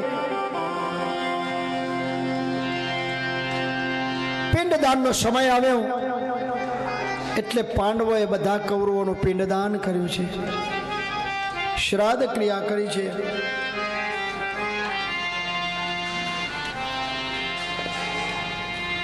પોતાના સંબંધીઓ શ્રદ્ધાંજલિ અર્પણ કરી. ત્યારબાદ શ્રી કૃષ્ણ ભગવાને રાજા યુધિષ્ઠિરનો રાજ્યાભિષેક કર્યો છે. પાંડવોમાં પ્રથમ યુધિષ્ઠિરનો રાજ્યાભિષેક થયો છે.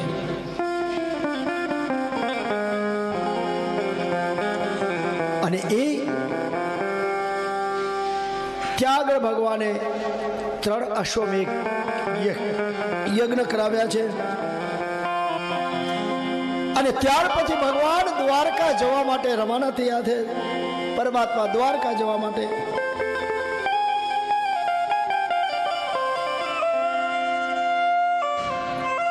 ભગવાન શ્રી કૃષ્ણ જ્યારે દ્વારકા જવા નીકળ્યા ને, ત્યારે કુંતા માતા બહુ કરુણ પ્રસંગ છે સાહેબ. ભગવાન દ્વારકા જવા માટે નીકળ્યા. કુંતાજીને મનની અંદર ખૂબ દુઃખ લાગે છે. મારો નાથ, શું મારો ભગવાન આજ મારાથી વિખૂટો પડી જશે? કુંતાજીને અશ્રુની ધારા છૂટી છે. વિપત સંતન સસરાત યત્ર યત્ર જગદગુરો. ભવતો દર્શન યસિયાત અપૂર્ણાય ભગવાનનો વિયોગ શાન કુંતાજીથી નથી થતો. શ્રી કૃષ્ણનો જ્યાંથી રથ નીકળવાનો છે ને, તે માર્ગમાં આવીને કુંતા મૈયા ઊભા છે. આપણે મારા ભગવાનનો રથ નીકળશે.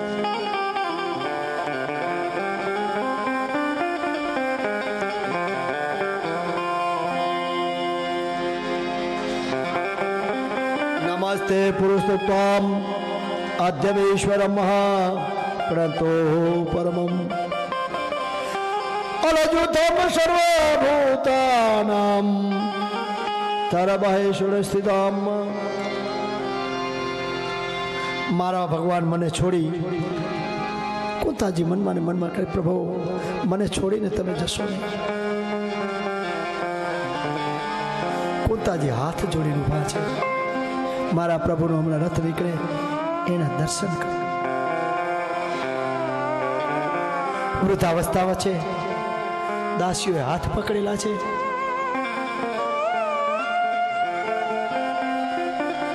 માર્ગની વચમાં આવીને કોતા ઊભા છે.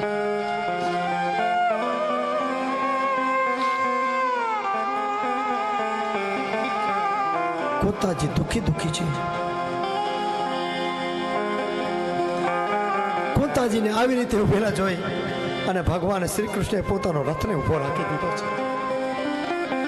રથ સ્તંભી ગયું ત્યાં આગળ. નીચે ઉતરી ગયા, રથથી નીચે ઉતરી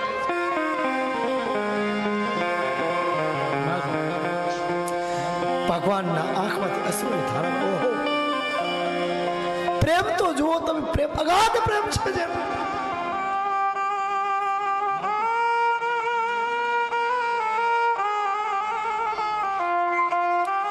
વિલાપ કરતા કરતા કોતાજી કહે છે,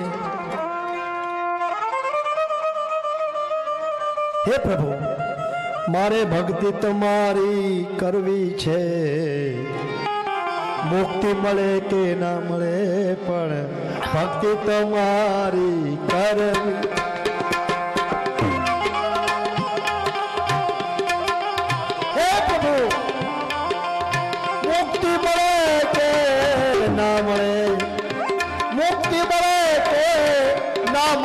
પણ ભક્તિ તમારી કરવી છે પ્રભુ ભક્તિ તમારી.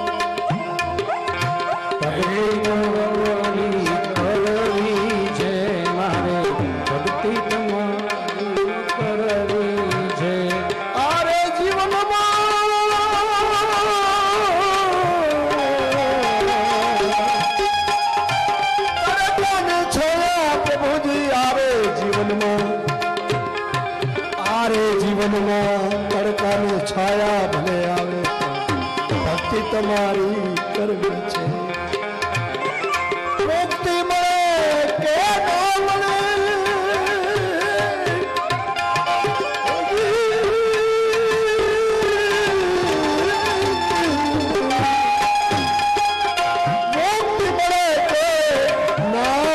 પણ ભક્તિ તમારી કરવી છે પ્રભુ મારે ભક્તિ તમારી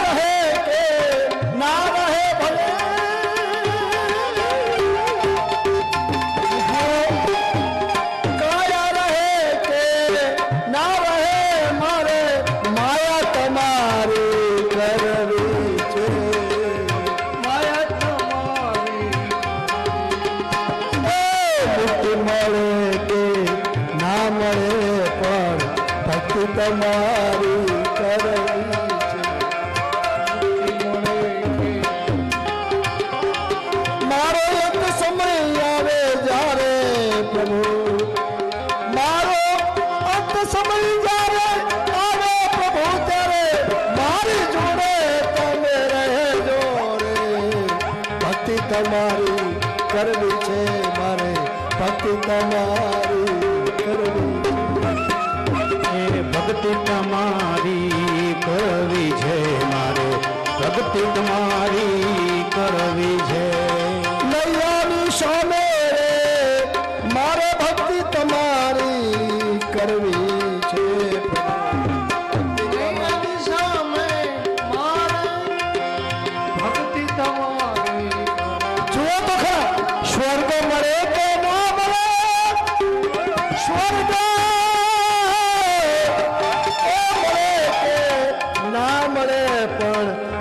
તમારી કરવી છે ભક્તિ તમારી કરવી છે. મુક્તિ મળે કે ના પણ ભક્તિ તમારી કરવી છે ભક્તિ તમારી. કોતામાં રડતા રડતા પ્રભુ. હું કોઈ મુક્તિ નથી માંગતી. તમારી પાસે પ્રભુ કોઈ માંગતી ફક્ત એક ભક્તિ માંગુ છું મારા ભગવાન કૃષ્ણ ભગવાન કહ્યું મૈયા, તમે આ શું બોલો છો? તમે શું બોલો છો? અરે, તમે તમારા મારા ફોઈમાં છો. હે પ્રભુ, મને બધી ખબર પડી ગઈ છે કે તમે આપ કોણ છો. અરે, પ્રભુ, કદાચ તમે અહીંથી જશો, પણ મારા હૃદયમાંથી તમે કઈ રીતે જઈ શકશો? ભક્તિ તમારી કરવી. મુક્તિ મળે તો ભલે, ના મળે તો ભલે. કોઈ વસ્તુ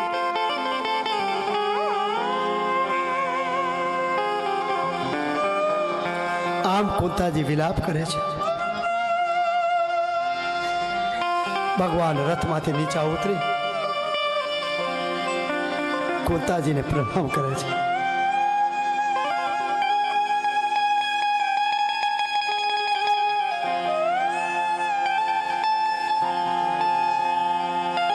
કુર્તાજીને વંદન કરતા જોઈ ભગવાન શ્રી કૃષ્ણ ગળગળા થઈ ગયા છે એકદમ આંખ આંખમાંથી તેના આંસુની થવા વહેવા લાગે છે.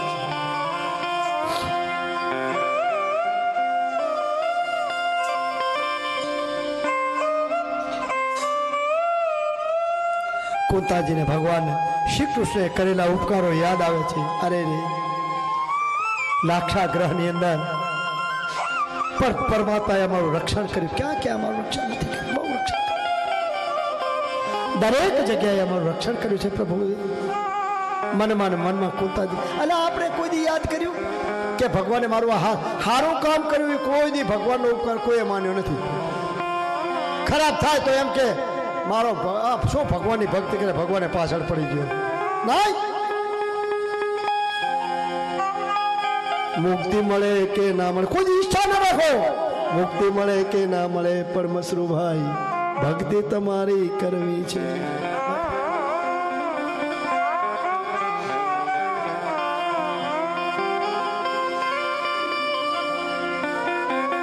ગરગડા થઈ કુંતાજી, ભગવાનને દ્વારકા જતા રોકે છે, હે ભગવાન, તમે જશો, અમારું કોણ?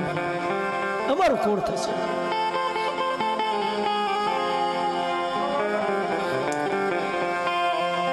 પોતાના પાસે રહેવા માટે આજીજી કરે છે કુંતાજી.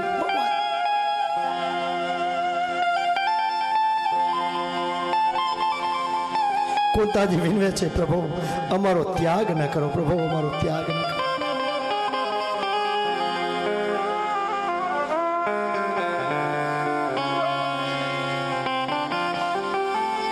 ઠાકોરજીમાં પૂર્ણ આસક્તિ થાય ને, ત્યારે જ પરમાત્માના દર્શન થાય.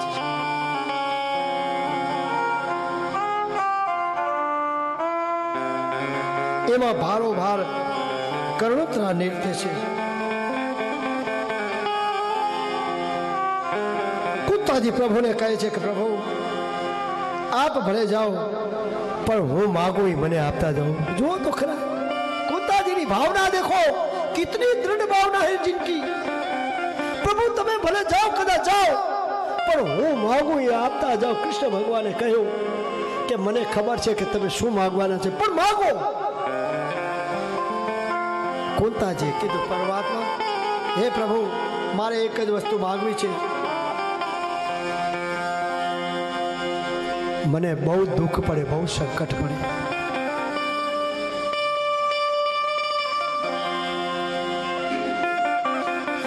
સંકટના હારનારા પ્રભુજી, હે પ્રભુ, તમે સંકટના હારનારા છો, હું જાણું છું.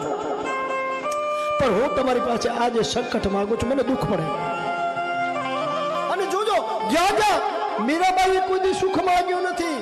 નરસિંહ મહેતાએ કોઈ સુખની માંગણી કરી નથી. અને હું તમે તો મંદિરમાં જઈશું તો આપણું લિસ્ટ લઈને જઈએ. દસ રૂપિયાનું નાળી લઈ જાય મંદિરમાં મૂકી કે ભગવાન, દીકરો હાલજે, દીકરી હાલજે, બેટો હાલજે, બેટી હાલજે, ગાડી હાલજે, પાડી હાલજે હાલજે, તે હાલજે. ભગવાન કે આ લિસ્ટ ઉપાડજે તારું? આ દસ રૂપિયાના નાળિયેરમાં હું આટલું બધું હાલ દઉં હું કાંઈ ગાંડો નથી રે, હું કાંઈ ઘેલો હું કાંઈ ગાંડો ઘેલો છું? કે તને આ માલ દઉં વાત મારી પાસે નહીં કરવાની. ઉપાડ તારું લિસ્ટ. થારવાની નો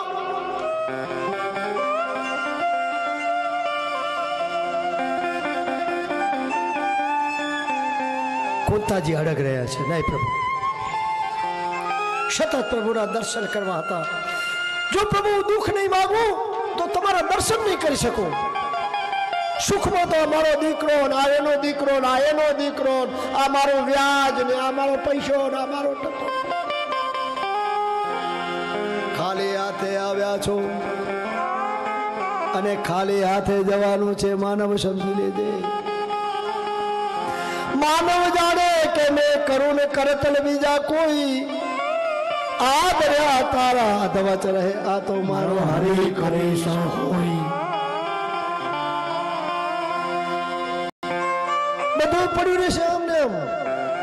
દીકરો એક બાજુ રહેશે દીકરી, પુત્ર પરિવાર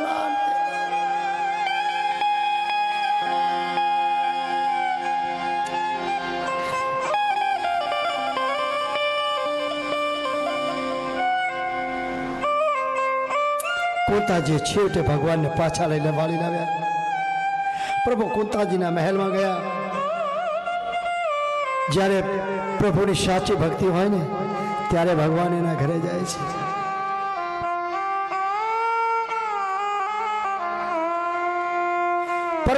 પણ સાચી ભક્તિને આધીન જ છે, એમાં કોઈ ના નથી.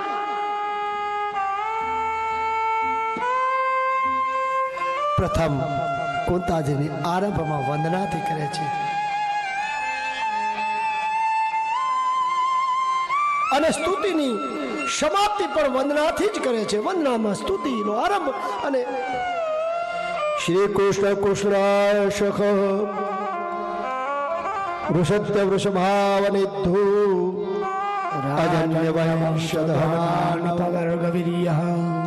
गोविन्द ગોવિંદ ગોવિંદ સુરાર્થી હરાવતાર યોગેશ્વર ભગવાન વંદના પણ શરૂઆતથી અને સમાપ્તિ પણ વંદનાથી જ કરે છે. શરૂઆતમાં એ કુત્તાજી વંદના કરે છે, સમાપ્તિમાં.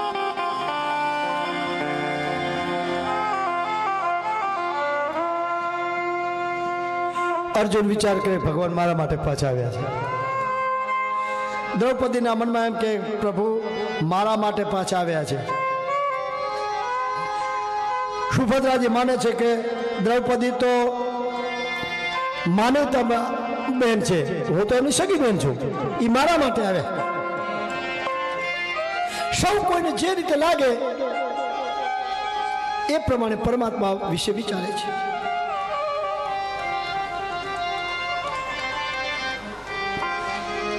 પણ કોઈના ન થનાર એવા પરમાત્મા સૌમાં વસી રહેલો છે સાહેબ. એ બધામાં છે. ઘટઘટમાં વસતો ભગવાન, ઘટઘટમાં વસી રહ્યો છે.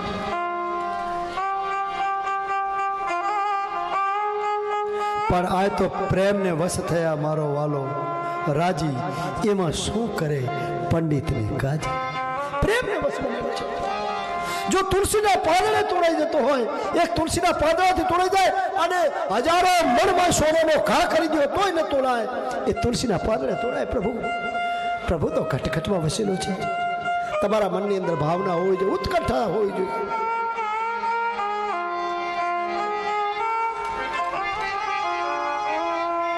પ્રેમના સંબંધ પ્રેમની સગાઈ છે અને પ્રેમની સગાઈ તો સબસે ઊંચી પ્રેમ સગાઈ, બધાથી ઊંચા ઊંચી પ્રેમ સગાઈ છે. પરમાત્મા સંગારે તે પ્રીતિ. ગંગા નદીનો કિનારો છે. આ એમાં ભીષ્મ પિતામાં બાણ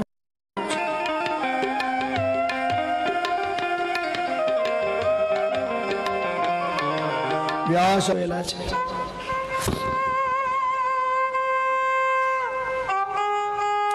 પિતામહનો પ્રેમ દિવ્ય હતો. મૃત્યુશયા પર ભીષ્મ પિતામહ શ્રી કૃષ્ણના દર્શન માટે આતુર છે. પ્રભુ ક્યારે પધારે, પ્રભુ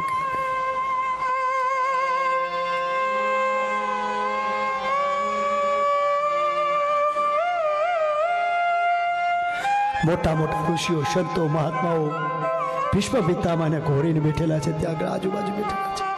પિતા ભીષ્મ પિત- પિતામહ એક માય શયા પર પડેલા છે.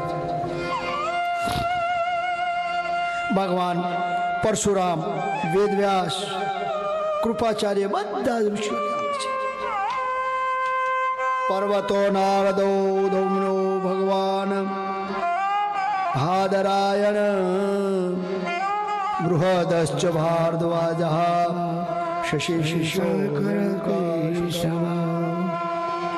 સંતોના જન્મ આપણા જેવો સાધારણ હોય છે પરંતુ તેમનું મૃત્યુ મંગલમય હોય છે સાહેબ. જન્મ તો આપણા જેવો જ હોય છે પણ એમનું મૃત્યુ કેમ એમણે ભક્તિ કરી છે? મુક્તિ મળે કે ના મળે પણ ભક્તિ તમારી કરવી હે?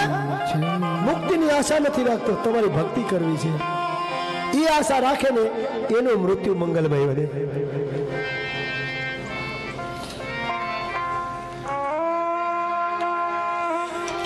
વિશ્વ પિતામાં મંગલમય ધામમાં કેવી રીતે ગયા? એ જોવા માટે ઋષિ મુનિઓએ ભીષ્મ પિતામાં કઈ રીતે સ્વર્ગમાં જાય છે એ જોવા માટે થઈને ઋષિ મુનિઓ ત્યાં આગળ આવ્યા છે. ભીષ્મ પિતામાં અને પૂર્ણ વિશ્વાસ છે કે મારો ભગવાન આવશે, ચોક્કસ આવશે. મને વચન આપ્યું છે સો ટકા આવશે અંતવેળા મારું મૃત્યુ સુધરશે.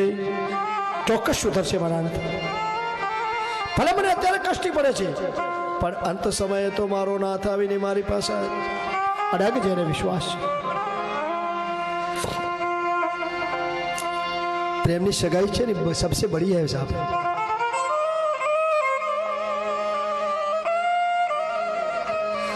ભગવાને વિચાર કર્યો ઓહો, મારો વિશ્વ મને યાદ કરે છે. અત્ર તત્ર સર્વત્ર ભગવાન તો બધે જ છે. એ મનની જાણે, તનની પણ જાણે અને બધું જ જાણે ભગવાન. પરમાત્માએ વિચાર કર્યો કે ભીષ્મ મને યાદ કરે છે.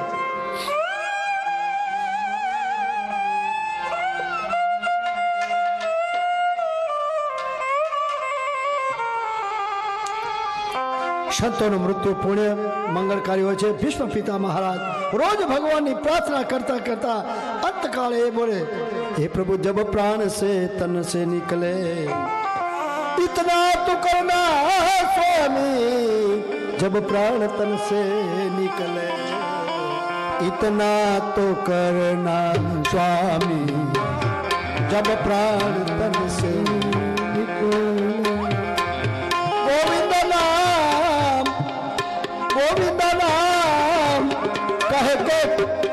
પ્રાણ તન સે હે પ્રભુ હું બોલું તેનું નામ ધારણ કરતા કરતા આ મારો પ્રાણ તનમાંથી નીકળી જાય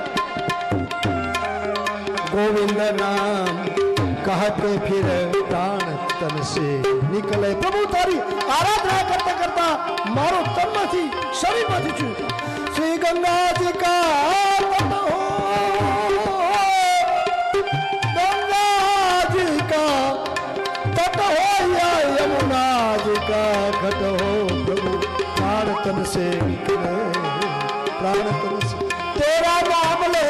até pra mulher.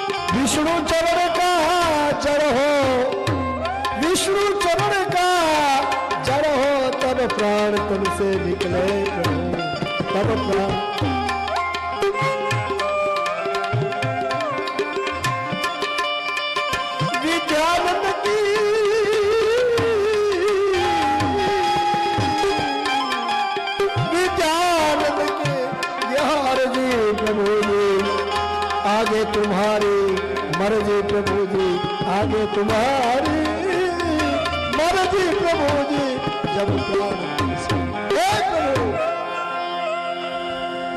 આત્મામાંથી પ્રાણ નીકળે ત્યારે તમે મારી પાસે હાજર રહેજો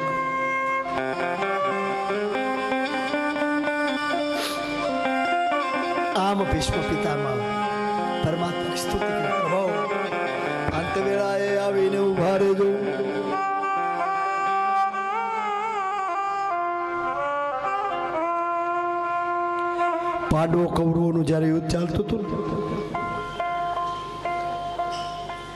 દુર્યોધન પિતામાને કહે છે કે આઠ આઠ દિવસથી યુદ્ધ ચાલે છે.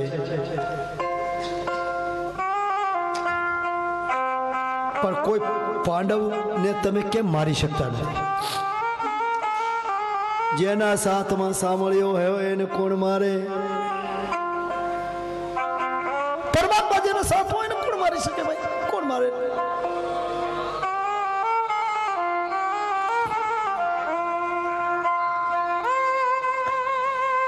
પરમાત્મા.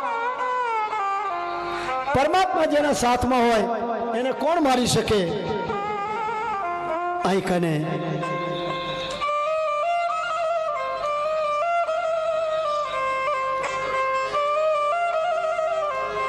દુર્યોધન પિતામાને કહે છે, પિતામાં, આઠ આઠ દિવસથી યુદ્ધ ચાલે, પણ એકે પાંડવ કેમ મરતો નથી? છે શું? કાં તો તમે યુદ્ધ બરાબર નથી કરતા? એનો મતલબ એવો થાય.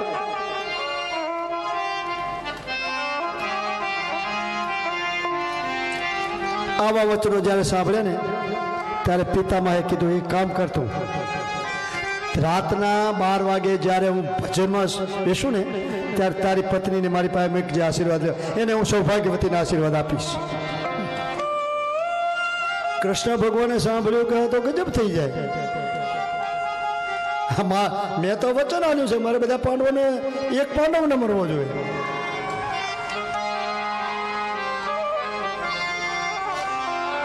આમાં ખટપટિયા તો ખરા થોડા બંને બાજુ ઢોલકી વગાડી આમ ના અખંડ સૌભાગ્યવતીના આશીર્વાદ આપીશ.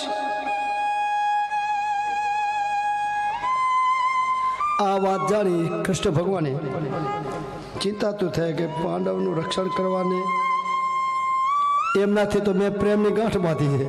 અને આજે આશીર્વાદ લીધો તો મારું તો ઉપાધિ થઈ જાય. અને એ તો પહોંચ્યા દ્રૌપદીના મેળે નહીં એ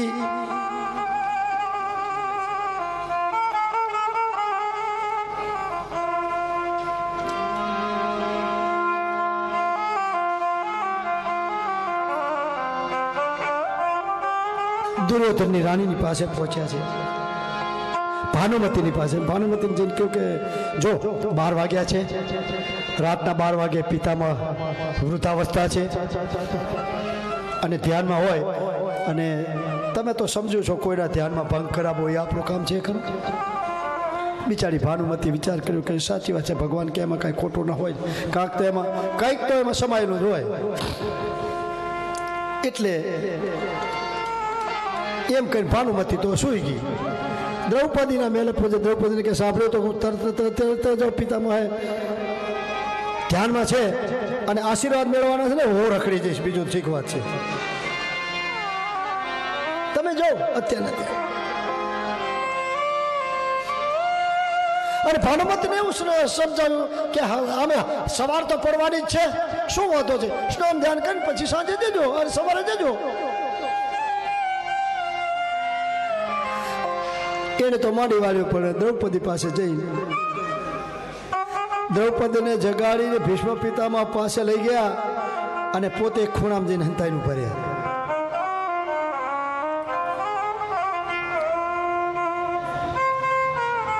પિતામાં તો ધ્યાનમાં છે. દ્રૌપદી ત્યાં ગયા છે. ત્યાં જઈને આશીર્વાદ માગ્યા છે. પિતામાં બોલ્યા છે, સૌભાગ્યવતી ભવ. અખંડ સૌભાગ્યતા અને જ્યાં ખોલી જો, ઓહો. આ તો દ્રૌપદી. મેં તો ભાનુમતીને બોલાવી હતી. આ કામ ઓલા કાળિયા ઠાકર સિવાય બીજા કોઈને હોય નહીં, એના હોય આ બીજું કોઈ ન કરી કે જ કરી શકે.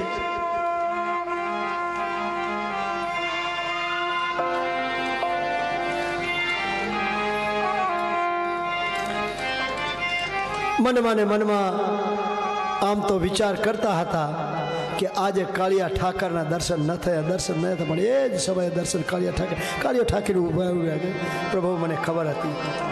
પ્રભુ, હું તમારું બધું જાણું છું, પ્રભુ. કે મારો ભગવાન મારી પાસે ચોક્કસ આવશે.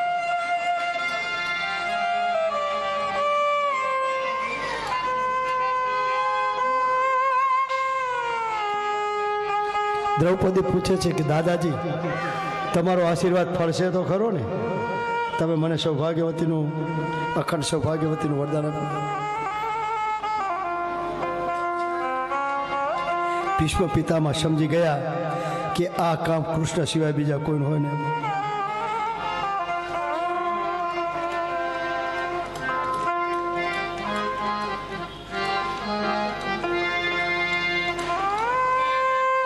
વિશ્વ પિતામાં પ્રભુ, આજની જેમ સંકટ સમયે પણ આવીને ઊભા રહેજો. જે વખતે ભગવાને પિતામહને વચન આપ્યું હતું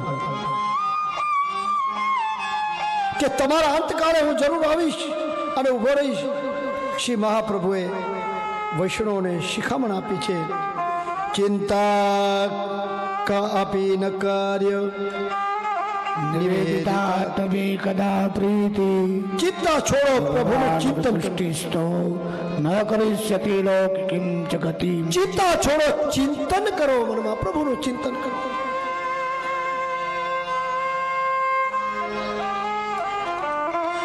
શાહોત કૃષ્ણો તતો વિપદ વિશ્વ પિતામાં બોલ્યા છે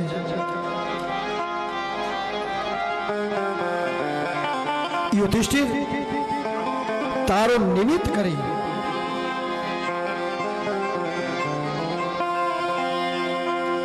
મારું મરણ સુધારવા માટે આવ્યા છે. જેની રાહ હું જોતો હતો, તે દ્વારકાધીશ પધારેલા છે, જો એ ભગવાનના દર્શન કરે છે. સદેવ દેવો ભગવાન પ્રતીક્ષિતા. કુલે विनोम्यहं વિનોમ્યહમ પ્રસન્નોગનો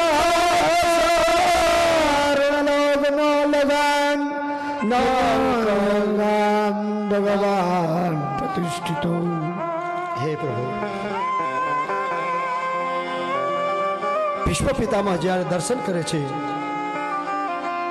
ત્યારે એનું હૃદય પીગળી જાય છે. ઓહો, આજ પ્રભુ મારા સાથે છે. વિશ્વ પિતામાં મનોમન વિલાપ કરે છે. શાને કરે છે વિલાપ કાયા રાણી? શાને કરે છે વિલાપ? શાને કરે છે વિલાપ કાયા રાણી? શાને કરે છે વિલાપ રે?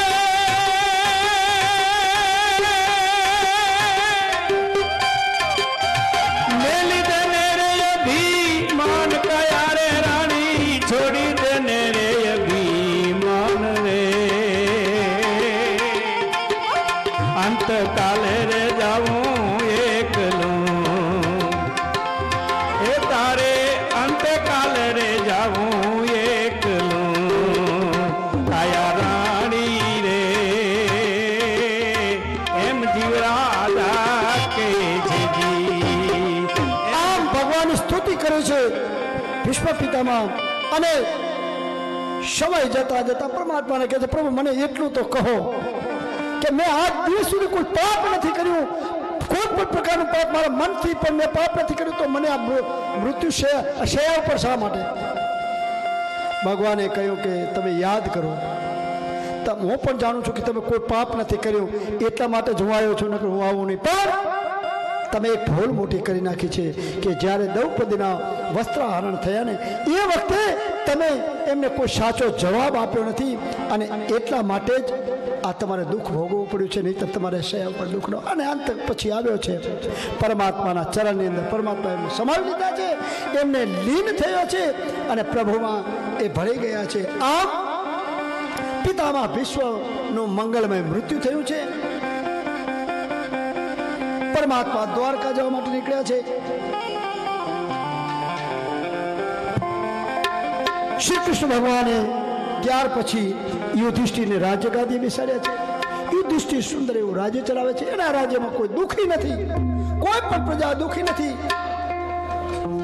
ગુરુજનો બ્રાહ્મણોએ વેદના મંત્રોથી રાજાભિષેક કર્યો છે.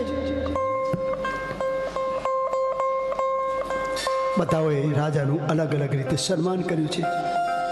સન્માનના પણ ઘણા પ્રકાર હોય છે.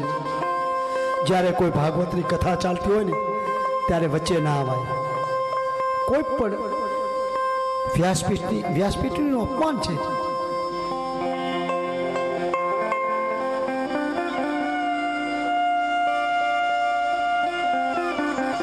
અને ભગવાન શ્રી કૃષ્ણ બધાનું અલગ અલગ સન્માન કર્યું છે.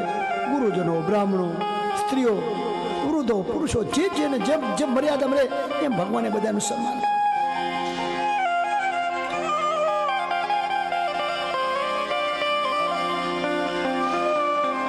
શ્રી કૃષ્ણ પોતાના માતા પિતાના મહેલમાં પધાર્યા છે. તેમની માતાઓ તેમને ભેટી પડી છે. આંખમાં અશ્રુની ધારાઓ છે. સોળ હજાર એકસો ને રાણીઓ આઠ રાણીઓ પણ એમને મળી છે. આ કથા બારમા સ્કંદની અંદર આવે છે. ઉત્તરાયે પવિ- પવિત્ર સમય આવ્યો.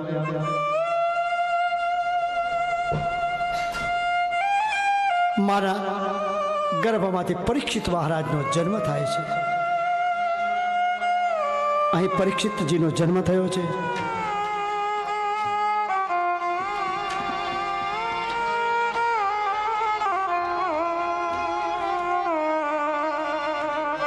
યુધિષ્ઠિરે બ્રાહ્મણોને બાળકના ભવિષ્ય વિશે કહ્યું છે. પ્રભુ, કહો તો ખરા આ બાળકનું ભવિષ્ય કેવું છે?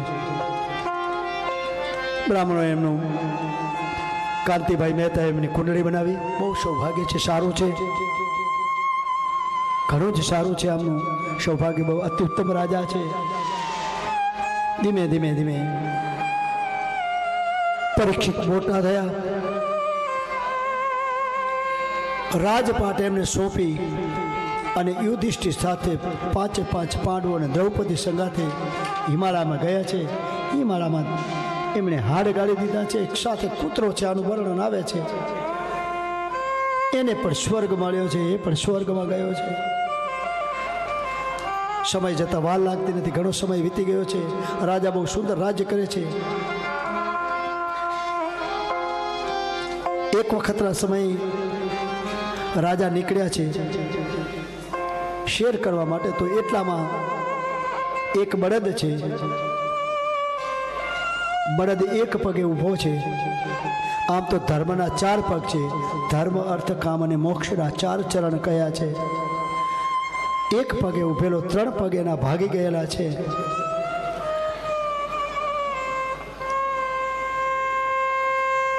કારણ આ સમયે પરમાત્મા જ્યારે સ્વધામ વધાર્યા એ સમયે કળિયુગની ઉત્પત્તિ થઈ ગઈ છે.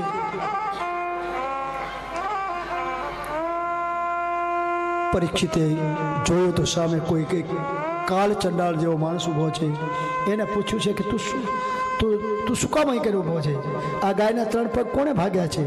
અને તું આને કેમ આ બળદને કેમ મારી રહ્યો છે? એણે કહ્યું કે પ્રભુ, હું કળી છું, કાળ, કાળનું કળી છું કળિયુગ છું મારો જન્મ થઈ ગયો. રાજા કે તો અહીંથી ચાલ્યો જા. નહીં તો હું તને મારી નાખીશ. પ્રભુ, મારો જન્મ અહીં થયો છે, હું જાઉં કે તમારે એવું હોય મને કોઈ રહેવાની જગ્યા આપો.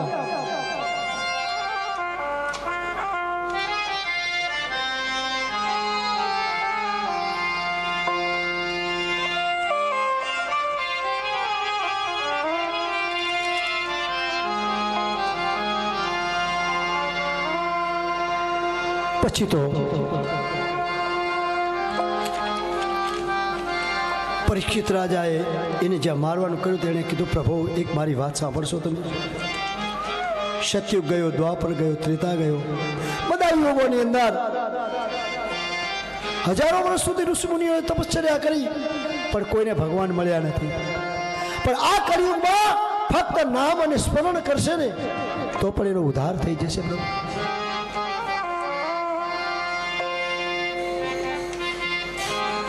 મને રહેવાની જગ્યા આપો અને કળિયુગ ને પછી ચાર જગ્યાઓ આપવામાં આવી છે. જ્યાં સુરાપાન થતું હોય કે મદિરા દુરા, દારૂ આવો થતો હોય, ત્યાં આગળ એક તને જગ્યા આપું છું. બીજી જગ્યા તને વિશ્યાગામી જ્યાં થતું હોય, ત્યાં જગ્યા આપું છું.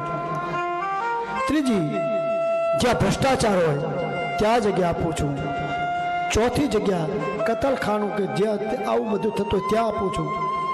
તેણે કહ્યું, પ્રભુ, મારો આટલો મોટો વિસ્તાર અને તમે મને ચાર જગ્યા આપો. એક મને હવે જગ્યા આપી દો. કોઈ સારી જગ્યા આપો કે હું જ્યાં રહી શકું? એને સુવર્ણમાં જગ્યા આપી, સોનામાં જગ્યા આપી છે. જા. સોનાની અંદર હું તમને વાત કહી દઉં, સોનું પહેરવું ખોટું નથી. પણ સોનું શુદ્ધ હોવું જોઈએ, કોઈનું પડાવેલું લૂંટેલું ના હોવું જોઈએ.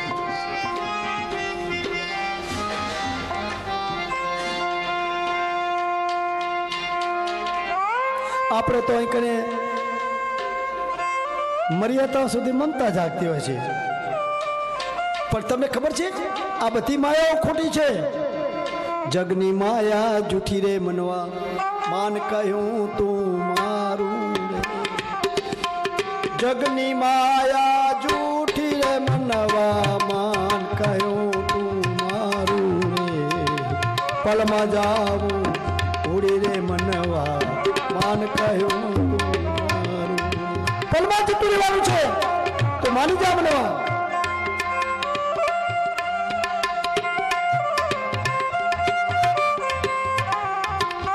જૂઠી માયા જૂઠી કાયા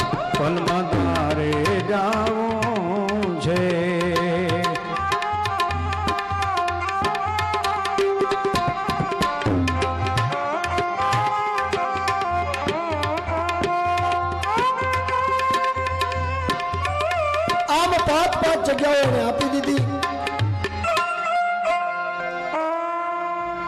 કરીએ વિચાર કર્યો કે આપણે જે જગ્યા જોતી હતી આપણે મળી ગઈ હવે વાંધો જય હો બાપુ નથી સુવર્ણમાં જગ્યા આપી દીધી સુવર્ણમાં જ્યાં જગ્યા આપી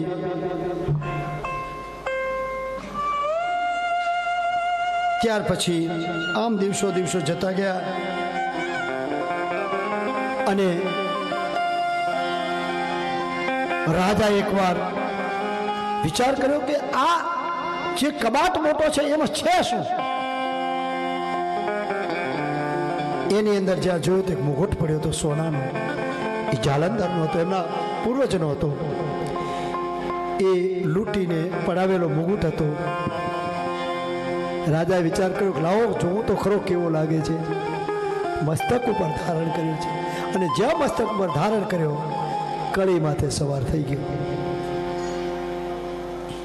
રાજાએ મુગટપુરી નીકળ્યા છે. ઘણા હિસાઓ કરી પશુ પક્ષીઓની હિસા કરી પાછો ફર્યો છે. બહુ તરસને ભૂખ લાગી છે. સમ્યક ઋષિના આશ્રમે આવે છે. જ્યાં સમ્યક ઋષિના આશ્રમે આવે, સમ્યક ઋષિ રાજાને અભિમાન લાગ્યું છે. જે ગુરુજનો બાંધવાનું કોઈનું અહિત નહીં છે, બ્રાહ્મણોનું અહિત નહીં છે, એ રાજાને માથે આજે કળી સવાર થઈ ગયો છે. એણે વિચાર્યું કે આ બહુ ઢોંગ કરી રહ્યો છે અને હું આટલો મોટો રાજા છું અને મને એને આવકાર પણ ના આપ્યો, આવકાર, સત્કાર જેવો નહીં. મરેલો સાપ પડ્યો હતો ને શમ્ય કૃષ્ણા ગળામાં નાખ્યો. મારા તમારા ઉપર આવો હાથ ફરી રહ્યો છે. ધ્યાન રાખજો. ઓય.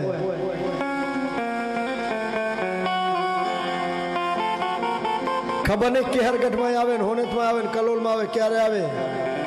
યાદ રાખજો. કરી માથે.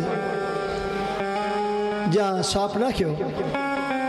ઋષિ તો ધ્યાનમાં છે. જેને ધ્યાન છે એને તો સાપ સાચો માથે જાય તો શું છે?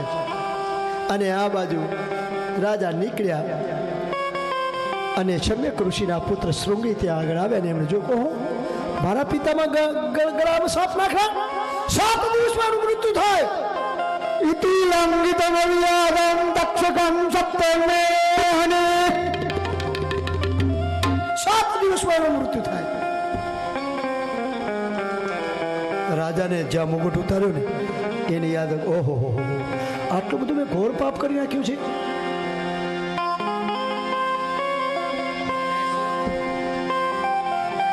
બહુ પસ્તાયો રાજા અને છેવટે આવ્યો આશ્રમમાં.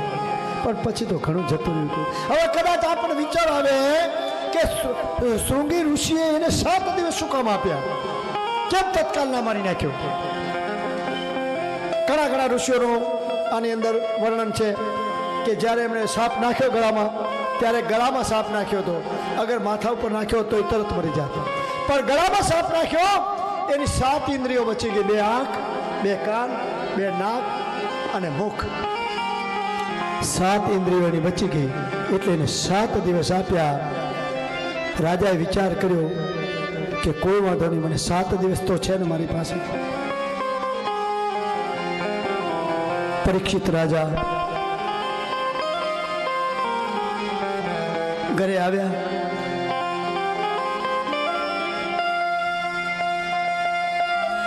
બધા ઋષિઓને મળવા જાય છે. મારું સાતમા દિવસે મૃત્યુ છે. અંદરનો આત્મા જાગ્યો છે, અંદરની આંખ ઉઘડી છે સાહેબ.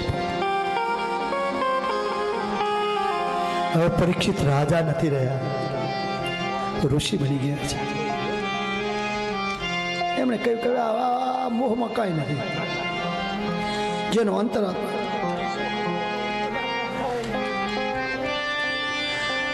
પરીક્ષિત રાજા ગંગા કિનારે બેઠા છે.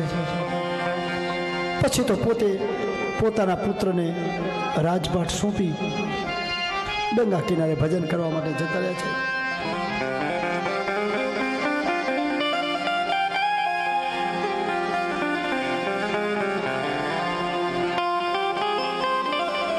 પોતે જે પાપ કર્યું છે ને, એ ઋષિએ બધાને જાહેર કર્યું છે. આપણે તો પાપ કરીએ તો કોઈ જાહેર ના કરીએ. પૂર્ણ કરીએ તો અઢાર જણા બતાવીએ. મંદિરમાં આટલા રૂપિયા લ્યા ગંગા કિનારે ગઈ હતી તો મહારાજાને આટલા બધા રૂપિયા લ્યા ફલાણાને આટલા આપ્યા. પુણ્ય કરે એ બધાને ગણાવે, પાપ કરે કોઈને ગણાવે નહીં.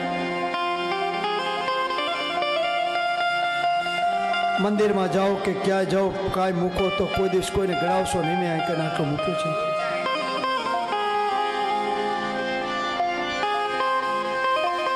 તૈયારી કરી રાખજો, મૃત્યુ નજીકમાં છે.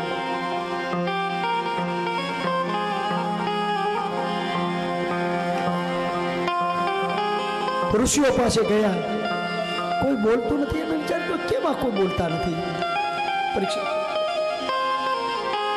છેવટે પરીક્ષિત પરમાત્માને શરણે ગયા છે. ભીતિ વિના પ્રીતિ નથી સાહેબ. સાતમે દિવસે હું મરવાનો છું. પરીક્ષિત આદિ નારાયણ પરમાત્માને મનાવે છે. શ્રીમન નારાયણ નારાયણ શ્રીમન્નારાયણ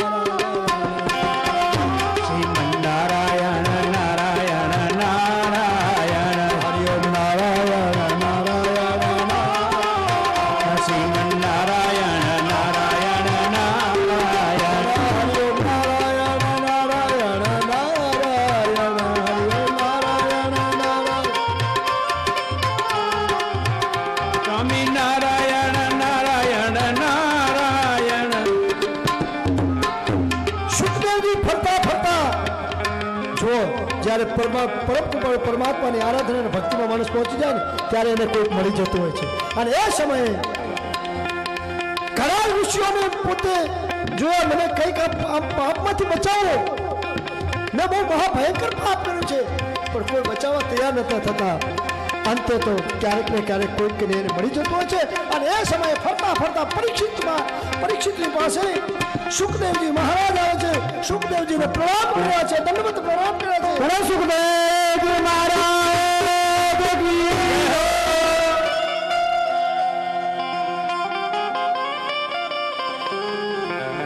તમે ફૂલ લાયક છો તત્ર ભવાદ ભગવાન વ્યાસપુત્રો યચ્છત્વાતાંગદાસયસ્વયં અલક્ષ્ય અલક્ષ્યોનજિલાવદુષ્ટો વૃત્તશ્ચ સાલો બુદે પ્રવિષ્ટઃ ચારે બાજુ પ્રકાશ થયો છે ચારે બાજુ પ્રકાશ થયો ઋષિઓને આશ્ચર્ય થયું કે સૂર્યનારાયણ ઉપરથી નીચે ઉતર્યા હોય ને એવું એમ લાગ્યું બધું. આટલો બધો પ્રકાશ? જેને વસ્ત્ર પણ નથી. સાંભળો ખરા. સુખદેવજી મહારાજને વસ્ત્ર પણ નથી. નિર્વિકારી છે. જેને કોઈ વિકાર કોઈ સ્ત્રી કોઈ પુરુષ જેને કોઈ વિકાર જ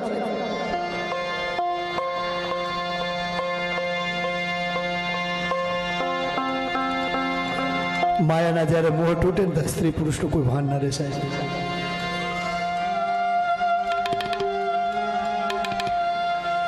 પરમાત્માનું ધ્યાન કરતા કરતા જ્યારે દેહનું દેહ ભૂલી એક ઋષિએ ઓળખી લીધા કે આ તો ભગવાન શંકરનો અવતાર છે. બીજું કોઈ નથી. વ્યાસનારાયણના પુત્ર સુખદેવજી પધારે છે. ઋષિઓએ વાતો કરે છે. ત્યારે સુખદેવજી સભામાં પ્રવેશ કરે છે. બધાએ ઊભા થઈ અને સુખદેવજી મહારાજનો જય જયકાર બોલો. શ્રી સુખદેવજી મહારાજ. સુખદેવજી કથામાં બેસવાનું પણ ભાન હોવું જોઈએ. કથામાં કેમ બેસવું? કેવી રીતે બેસવું? ક્યાં બેસવું? આનો બધો ભાવ છે.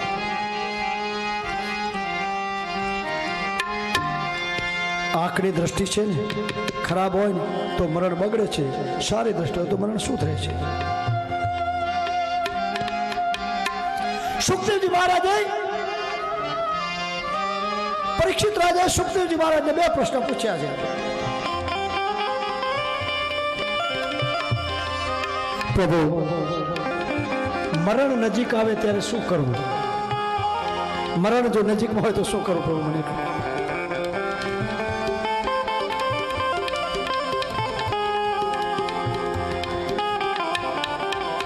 અંત સમય કેવી રીતે પ્રભુ એને કાઢવો મને ખબર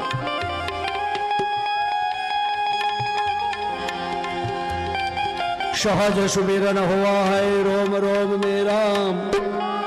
મન વિરાના બ્રહ્મ છે. જેની ભ્રમકારી વૃત્તિ સ્થિર થાય છે. જેના રોમ રોમમાં પ્રભુનો નામનો જાપ થાય છે. એને પરમાત્મા દર્શન કરાવે છે. બધી દિશાઓ શાંત બની ગઈ છે. સુખદેવજી મહારાજ બેઠા છે. આરંભ કર્યો છે. કથાનો આરંભ કર્યો છે. સુખદેવજી મહારાજ પરીક્ષિતને કથા કરે છે. પ્રથમ સ્કંદની પૂર્ણાહુતિ કરી? દ્વિતીય સ્કંદની અંદર પ્રવેશ લઉં છું. બીજા અધ્યાયની અંદર વર્યાને સતે પ્રશ્ન કૃતો લોકાહિતમ નૃપ આલસતા પુલકંસામ શ્રોત્રિયામિ સત્રહ પરમાત્મા શ્રી કૃષ્ણ જગતના ગુરુ છે. કૃષ્ણ મંદે જગત ગુરુ બાકા કૃષ્ણ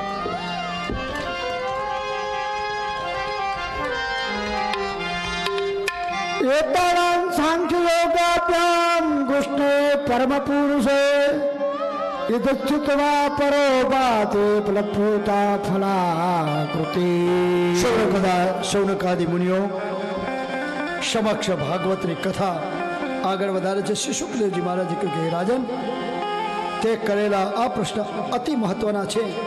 મોક્ષની ઈચ્છા રાખનાર આત્મા જ્ઞાનીઓએ પ્રભુ શ્રી હરિને નિત્ય સ્મરણ કરવું જોઈએ. દ્વાપર યુગમાં હું મારા પિતા વ્યાસજી પાસેથી શ્રીમદ ભાગવત કથાને શીખ્યો છું. એ રાજન પૂર્વે ખટવાંગ નામનો રાજા, અહીં ખટવાંગ નામનો નાના રાજાનું દ્રષ્ટાંત આવે છે. પોતાના આયુષ્ય માટે ખટવાંગ રાજાએ કેટલું મારું આયુષ્ય બાકી રહ્યું છે એની માગણી કરી છે.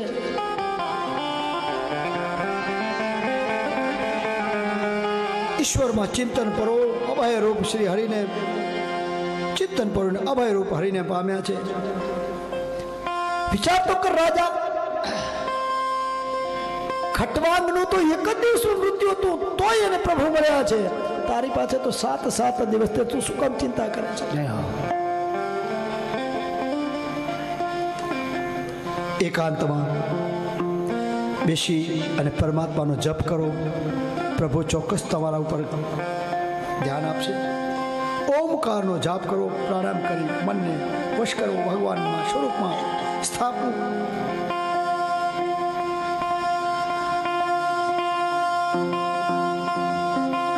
રાત્રિ હોય કે દિવસ હોય પણ જ્યારે જ્યારે સુવો ઉઠો બેસો ત્યારે થોડું થોડું પરમાત્માનું સ્મરણ કરો પુરોતદસ્ય યદ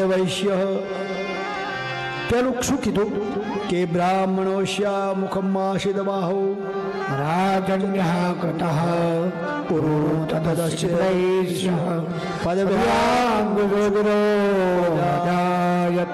સાહેબ બ્રાહ્મણ કોણ છે બ્રાહ્મણના મુખમાં ચાર વેદ છે આ વ્યાસ ગાદી ઉપર ગમે ત્યાં બેસી જાય વ્યાસ ગાદી પર બસ ગમે તે એક ચાર ચાર અક્ષરો જાણી લીધા એટલે બસ વ્યાસપીઠ સંભાળી લેવાની. નહીં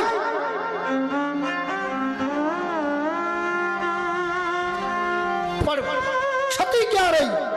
અમારા બ્રાહ્મણોમાં ક્ષતિ રહી સાહેબ. કે જેણે જ્ઞાન પ્રાપ્ત ન કર્યું, ખોટા રવાડે ચડી ગયા. તો વ્યાસ વ્યાસ ગાદી અમારી છે સાહેબ. વ્યાસ ગાદી પર સિર્ફ બ્રાહ્મણ સિવાય કોઈ બોલી શકે નહીં. બ્રાહ્મણો શા મુખમ શા બ્રાહ્મણોના મુખમાં વેદ સમાયેલો છે. અને બ્રહ્માજીના મુખમાંથી ઉત્પન્ન થયેલો બ્રાહ્મણ છે. ગમે તેવો બ્રાહ્મણ હોય, નથી ભણેલો, નથી ગણેલો, પણ બ્રાહ્મણનું કોઈ અપમાન ન કરાય. બ્રાહ્મણનું અપમાન કરવાનો એ નરકનો અધિકારી બને છે, કોઈ સ્વર્ગનો અધિકારી નથી બનતો. અસ્વસ્થતામાં જો પાંચ પાંચ પુત્રોને હત્યા કરી નાખતો હોય છતાં એને દ્રૌપદી એમ કે બ્રાહ્મણ છે. મુચ્ચતા મુચ્ચતા મે સો બ્રાહ્મણો નિતરામ ગુરુ. માટે હે પરીક્ષિત રાજા તારી પાસે તો સાત સાત દિવસ છે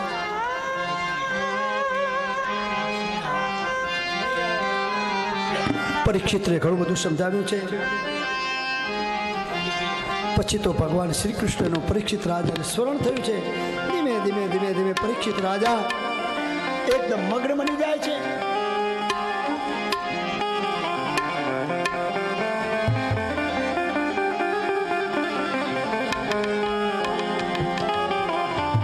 આમ કરતા કરતા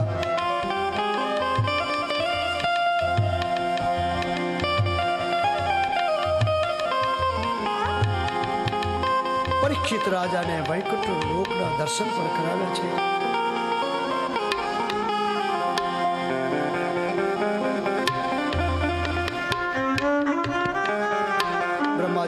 તપશ્ચર્યા કરી છે પરમાત્મા બધું એવું.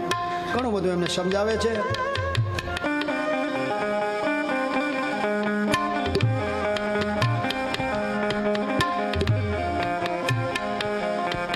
જ્યારે આમ તપ કરતા હતા, ત્યારે અવાજ જળસાગરની અંદર તપ તપ એવો અવાજ આવ્યો છે, કોઈ દેખાતો નથી. તેમણે વિચાર્યું કે કોઈ મને તપ માટે પ્રેરણા કરે છે. આમ વિચારી તેમણે મનમાં તપને જોડી દીધું છે બ્રહ્માજીએ. એક હજાર વર્ષ સુધી તપ કર્યું છે.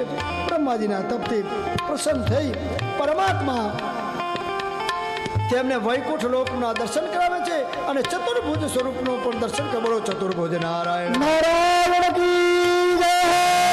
બ્રહ્માજીએ વંદના બ્રહ્માજીએ વંદન કર્યા છે. પરમાત્માએ પોતાના હાથથી સ્પર્શ કરી બોલ્યા છે. હું તમને તમારા તપથી પ્રસન્ન થયો છું. તમે ઈચ્છિત વર માગો પ્રભુ આપણા સ્વરૂપ જ્ઞાન વિશે વાળી બુદ્ધિ સ્થાપો જેથી હું મારા મનમાં પ્રભુ કોઈ દિવસ એવો વિકાર ના આવે કે મેં તમારું ભજન કર્યું છે. પ્રભુ, મને તમારા ભક્તિમાં પરિપૂર્ણ રાખો. બ્રહ્માજી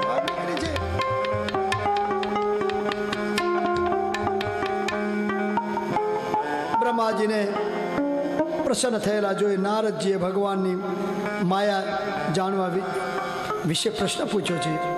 બ્રહ્માજીએ શ્રીમદ ભાગવતની પુરાણની કહ્યું છે, વિરાટ પુરુષ બ્રહ્માદિત દેવના લલાટમાંથી નીકળ્યા છે. ત્યારે તેમણે પોતાના રહેઠાણ માટે પવિત્ર જગ્યા ઉત્પન્ન કર્યું અને પોતે સર્જેલા જળમાં એક હજાર વર્ષ સુધી રહ્યા. તેથી નારાયણ કહેવાયા છે, પરમાત્માએ એકમાંથી અનેક થવાની ઈચ્છા થઈ. કે યોગ નિંદ્રામાંથી પોતાના શરીરને માયાથી અદ્વૈત કર્યું છે. અને આ પ્રમાણે તૃતીય સ્કંદની પૂર્ણાવૃત્તિ કરી તૃતીય સ્કંદની અંદર પ્રવેશ છે. તૃતીય સ્કંદ પ્રવેશમાં કુર્યાત દેહ સ્વરૂપનો તૃતીય સ્કંદ છે. પરીક્ષિત રાજાએ કહ્યું કે, પ્રભુ, વિદુરજીનો ભગવાન મૈત્રીની સાથે ક્યાં ક્યાં મેળાપ થયો? અને બીજો બીજી વાત વચ્ચે જે વાતચીત થઈ તે પ્રભુ મને કહો, હું તેમને વિદુરજી વિશે સાંભળવા માંગુ છું. વિદુરજી એક મહાન ભગવાનના ભક્ત છે.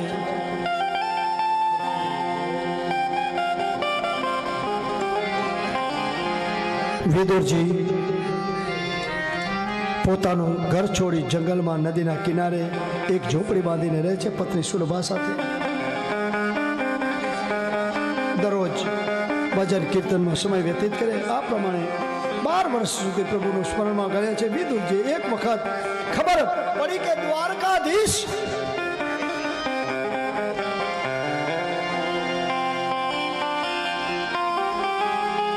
દ્વારકાધીશ પાંડવો તરફ વિષ્ટિ કરવા માટે આવ્યા છે. કૌરવો પાસે ગયા છે પરમાત્મા. પાન અને ત્યાં આગળ મૈત્રીના કરાર મૂક્યો છે. એ સમયે એમની દુર્યોધને કહ્યું છે કે એક આંગળ જેટલી પણ હું જગ્યા નહીં આપું, પાંડવોને, એક આંગળ જેટલી પણ જગ્યા. પરમાત્માએ ઘણો સમજાવ્યો છે, પણ નથી સમજ્યા. વિદુરજી ગયા છે. વિદુરજીનું પણ અપમાન કર્યું છે. વિદુરજી વિચાર કર્યો કે આ બધો મોહ છે, આની અંદર રહેવામાં કોઈ મજા નથી. વિદુરજી ત્યાંથી ચાલી નીકળ્યા છે, ઘરે આવ્યા છે. ઝૂંપડીમાં, પોતાની ઝૂંપડીમાં રહેવા લાગ્યા છે. શ્રી કૃષ્ણ ભગવાનને સમજૂતી ન કરી. એટલે એમ કહેવાય છે કે દુર્યોધન નામે વાતજી ભગવાને દુર્યોધન દુર્યોધન એટલે દુર્બુદ્ધિ. એના મેવાનો ત્યાગ કર્યો છે. અને ભગવાને લીધી વિદુર ઘર ભાજી દુર્યોધનના જણે મેવાનો ત્યાગ અને વિદુરના ઘરે પોતે જ ભાજી લેવા માટે ગયા છે. સુલભા વિચાર કરે, વિદુરથી વિચાર કરે, પરમાત્મા હમણાં આવશે, રથ નીકળશે, રસ્તામાં ઊભા છે. બહુ વિનંતી કરે, હે પ્રભુ, અમારા ગરીબને ઘરે કોણ આવે? પણ મારો નાથ છે ને. પ્રભુ, તમે હજાર હાથવાળા છો, ચોક્કસ આવશો મને વિશ્વાસ છે. શુલભા અને વિદુરજી ઘરે ગયા છે રથ. દુર્યોધનના મેવા ત્યાગી અને વિદુરને ઘરે ગયા છે. વિદુરને ઘરે ગયા છે. ઝૂંપડીની અંદર બંને જણા રહે છે. ખાવાનું કંઈ છે નહીં. ભક્તિ, અનંત ભક્તિ છે જેની, અતિશય જેની ભક્તિ છે.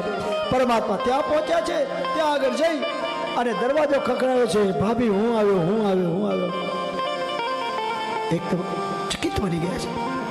શું આપું જીકો તો સબરીની પણ ભક્તિ એવી જ હતી. શબરી ના ઘેરે એ રામ પધાર્યા, ઝૂંપડી મારી નાની રે. પડિયામાંથી પાણી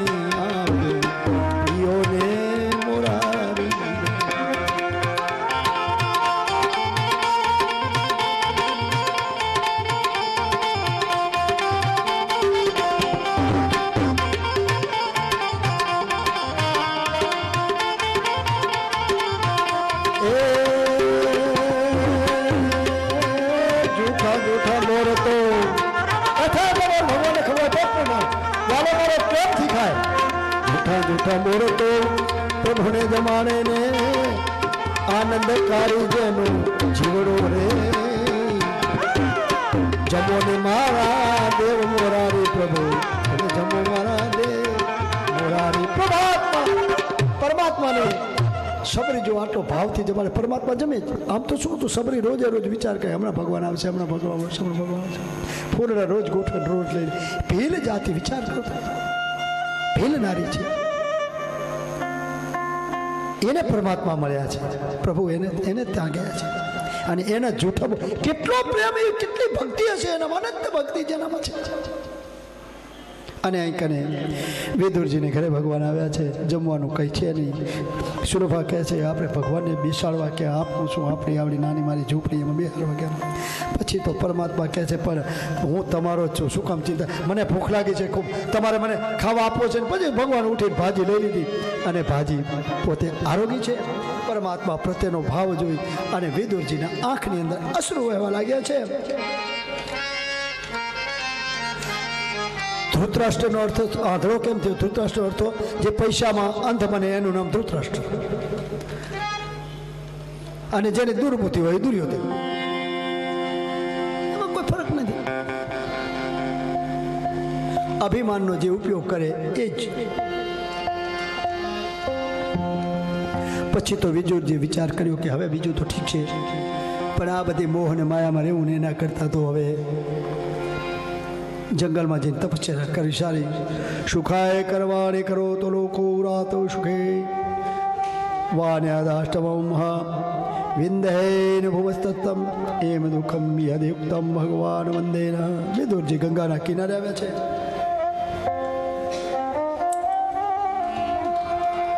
બહુ તપશ્ચર્યા કરી છે વિદુરજીએ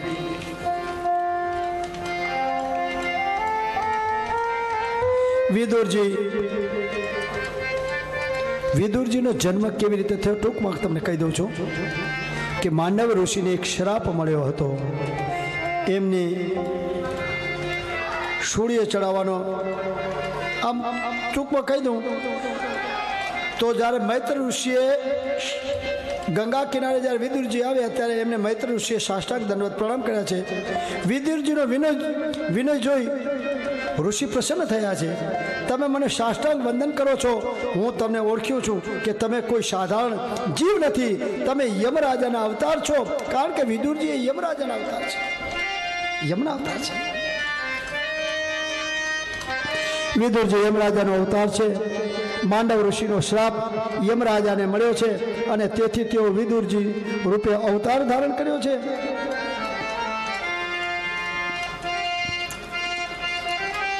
કારણ કે એક વખત કેટલાક ચોર ચોરી કરીને જતા હતા.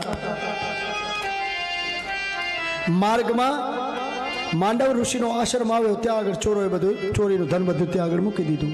અને ત્યાંથી જતા રહ્યા. અને રાજા આવ્યા અને રાજાએ માંડવ ઋષિને, રાજાના દૂતો આવી માંડવ ઋષિને લઈ ગયા અને એમને સૂર્ય ચડાવવાનો હુકમ કર્યો છે. એમણે કહ્યું કે મેં કોઈ દિવસ પાપ કર્યું નથી, છતાં મને આ સૂળીનો અભાવ શા માટે? પાપ કર્યું હોય તો ભૂખ હોય જેણે પાપ કર્યું નથી તો નિર્ભય હોય છે. આમ રાજા મને સુખ બે સ્વરૂપ છે. એક શાંત સ્વરૂપ અને બીજું ઉગ્ર સ્વરૂપ છે. પાપીના માટે ભયંકર સ્વરૂપ અને પુણ્યાત્મા માટે સૌમ્ય સ્વરૂપ છે. માંડવ ઋષિના યમરાજા સમક્ષ આવી અને ઊભા રહ્યા છે. યમરાજાએ તેમને આસન આપ્યું છે. તેમની પૂજા કરી છે. માંડવ ઋષિએ બોલ્યા છે કે, તારી પૂજા લેવા હું નથી આવ્યો, પણ હું તને એટલું જ પૂછવા માટે આવ્યો છું કે, મેં કોઈ પાપ કર્યું નથી. છતાં મને સુરી કેમ? ગોટા વાળ્યા છે આ સમયે યમરાજા કે, તમે એક વખત કોઈ જંતુ હતું ને એના ઉપર કીડો ભૂંક્યો હતો એના સંકાતે તમારે સૂળીનું સૂડી ઉપર ચડવું પડ્યું છે. એનો શ્રાપ તમને લાગે છે? કોઈ ટાઈમે ભૂલ પણ થઈ જતી હોય છે સાહેબ. પણ એમણે કહ્યું કે ભાઈ, એ દસ વર્ષના નિયમ છે. શાસ્ત્રો કે દસ વર્ષનું બાળક જો કોઈ આવી ભૂલ કરે, તો એ વખત છ વર્ષનો હતો. દસ વર્ષનું કોઈ બાળક ભૂલ કરે, તો એને એને, એનો દોષ એના મા બાપને લાગે છે અને એ એમાંથી મુક્ત થઈ જતો હોય છે. તો પછી મને શું કેમ માંડવ ઋષિ કહ્યું કે શાસ્ત્રોનો એવો નિયમ છે કે પાંચ છ વર્ષનું બાળક અજ્ઞાન દશામાં હોય છે.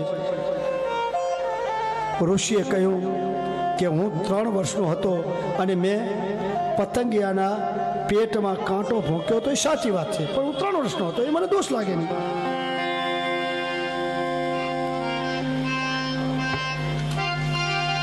માટે યમરાજાએ કહ્યું જાઓ. હું તમને પુણ્યનો પ્રભાવ આપું છું. પણ એ સમયે માંડવ ઋષિએ મેં શ્રાપ આપ્યો છે કે તમે કંઈ જાણતા નથી અને અજાણમાં તમે મારો દોષ કર્યો છે, માટે હું તમને શ્રાપ આપું છું કે પૃથ્વી લોકની અંદર તમારે જવું પડશે અને પૃથ્વી લોકમાં આ વિદુરજી તરીકે આવ્યા છે. બાકી યમરાજાનો અવતાર છે, ભગવાન છે. આમ કરી ભાગવતની અંદર અનેક પ્રકારના દૃષ્ટાંતો અને દાખલાઓ આપવામાં આવ્યા છે. ધીમે ધીમે ધીમે ધીમે બ્રહ્માજીની કમળમાંથી ઉત્પત્તિ થઈ છે એવું વર્ણન આવે છે. સો વર્ષ સુધી ઓમ નમો નારાયણ મહામંત્રનો જાપ કર્યો. સો વર્ષ જાપ કર્યા પછી બ્રહ્માજીને ભગવાન નારાયણના દર્શન થયા છે. ભક્તિ વ્યર્થ જતી નથી. પરમાત્મા બધાને પોતપોતાની રીતે જેવા કર્મ હોય એ પ્રમાણે પરમાત્મા કરતો હોય છે. આમ કરી અને બ્રહ્માજીના બ્રહ્માજીના, પણ એમ માનો કે પરમાત્માએ દર્શન આપ્યા છે, બ્રહ્માજીને પણ દર્શન આપ્યા છે. ધીમે ધીમે ધીમે ધીમે કરતા આપણે આગળ વધીએ, આગળની અંદર હિણાક્ષ અને હિણે તપસ્યા. વિક્ષમ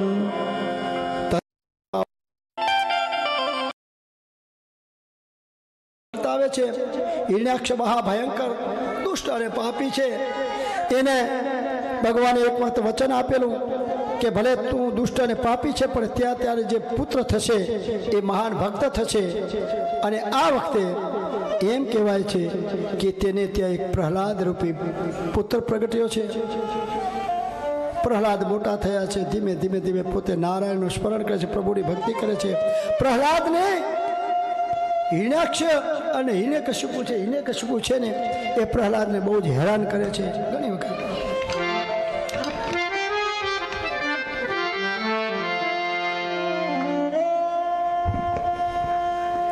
આમ તો ઘણા બધા આની અંદર દ્રષ્ટાંતો આપવામાં આવ્યા છે. કેટ કેટલા દ્રષ્ટાંતો આપ્યા છે? શ્રી રામ જય રામ, જય જય રામ. શ્રી રામ જય રામ.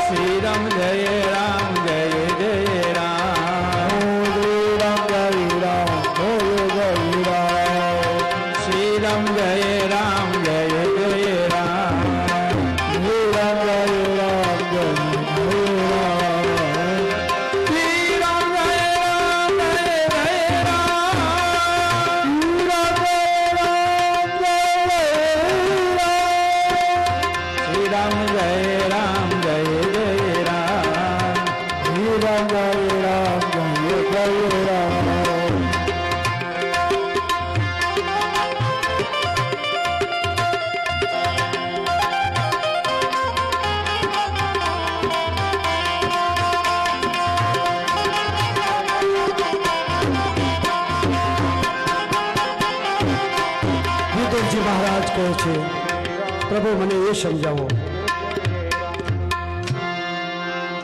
કે જનક મહારાજ વૈદેહી કહેવાય છે?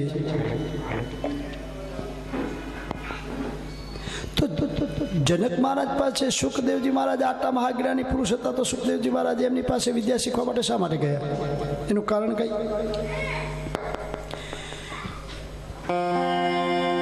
વિદ્યાભ્યાસ પૂરો થતાં સુખદેવજી કહે છે, મારે તમને કંઈક ગુરુ દક્ષિણા આપવી છે, કહો. જનક મહારાજે એમને કહ્યું છે કે નિરુપયોગી વસ્તુ જેમાં કોઈ ઉપયોગ ના હોય, એવી વસ્તુ તમે મને આપો. ઘણી જગ્યાએ ઢૂંઢે છે, પણ જ્યાં જ્યાં માટી પાસે જાય, પથ્થર પાસે જાય, ગમે એની પાસે જાય, બધું ઉપયોગી છે. આખરે ઘણું વિચાર્યું, સુખદેવજીએ વિચાર કર્યો કે આ દેહનું અભિમાન છે ને એ નિરુપયોગી છે, બાકી કાંઈ પણ નથી. અભિમાન જ નિરુપયોગી છે. એણે જનક મહારાજને આવીને કહ્યું છે, પ્રભુ, મારું અભિમાન છે ને એ જ નિરુપયોગી છે એ સિવાય કોઈ નથી. એ હું તમારા ચરણમાં ધરું છું. આમ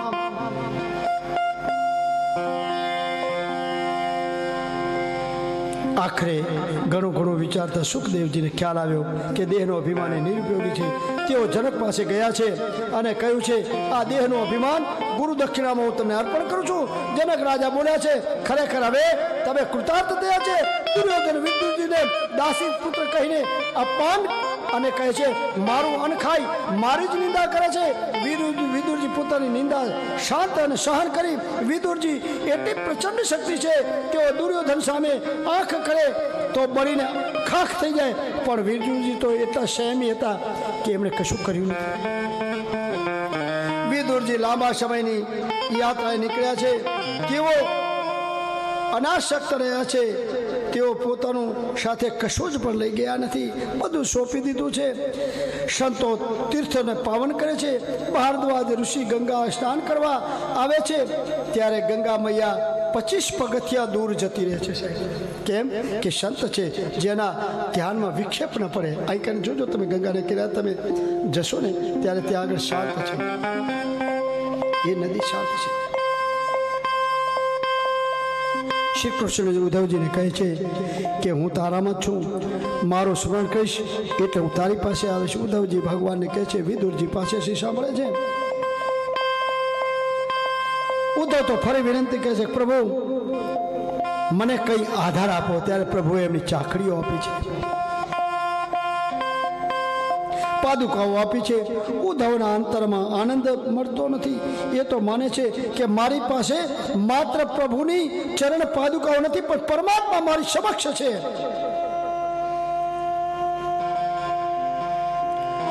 ઉદ્ધવજી બદ્રિકાશ્રમમાં જાય છે. માર્ગમાં યમુનાજીના દર્શનનો લાભ મળ્યો છે. પવિત્ર વ્રજભૂમિના દર્શન થયા છે. પવિત્ર વ્રજભૂમિના દર્શન થયા છે. ઉદ્ધવજી કહે છે કે આપના દર્શનથી મને બહુ જ પુણ્ય મળ્યું છે. વિદુરજી કહે છે કે હું તો કર્મહીન છું. આમ કરતાં કરતાં વિદુર અને ઉદ્ધવજી વચ્ચેનો સંવાદ ચાલુ થાય છે. ઉદ્ધવજી વાત સાંભળી. વિદુરજીની આંખમાંથી અશ્રુ ધારણ કરી દે છે, કાઢશે. ઉદ્ધવજીએ કહ્યું કે પરમાત્મા સ્વધામ વધાર્યા છે. આવું જ્યારે સાંભળવા મળ્યું, ત્યારે વિદુરજીની આંખમાંથી અશ્રુના ધાર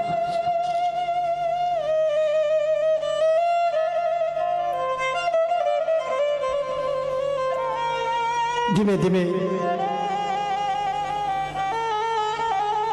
ઉદ્ધવજીને પણ જ્ઞાનની પ્રાપ્તિ વિદુરજી પ્રાપ્તિ થાય સત્વગુણ વધારવાની શુદ્ધ આહાર, શુભ વિચાર અને શુદ્ધ આચારથી મન શુદ્ધ થાય છે. ઊંઘ તો એક મિનિટમાં આવી જાય. ક્યારેક જ્યારે પ્રભુનું સ્મરણ કરો, ત્યારે ઊંઘ એક મિનિટમાં આવી જતી હોય છે. પડ્યા પછી જો કોઈ ખરાબ વિચાર કરશો, તો તમને ઊંઘ નહીં આવે. એ તમને આળોટા ખવડાવશે.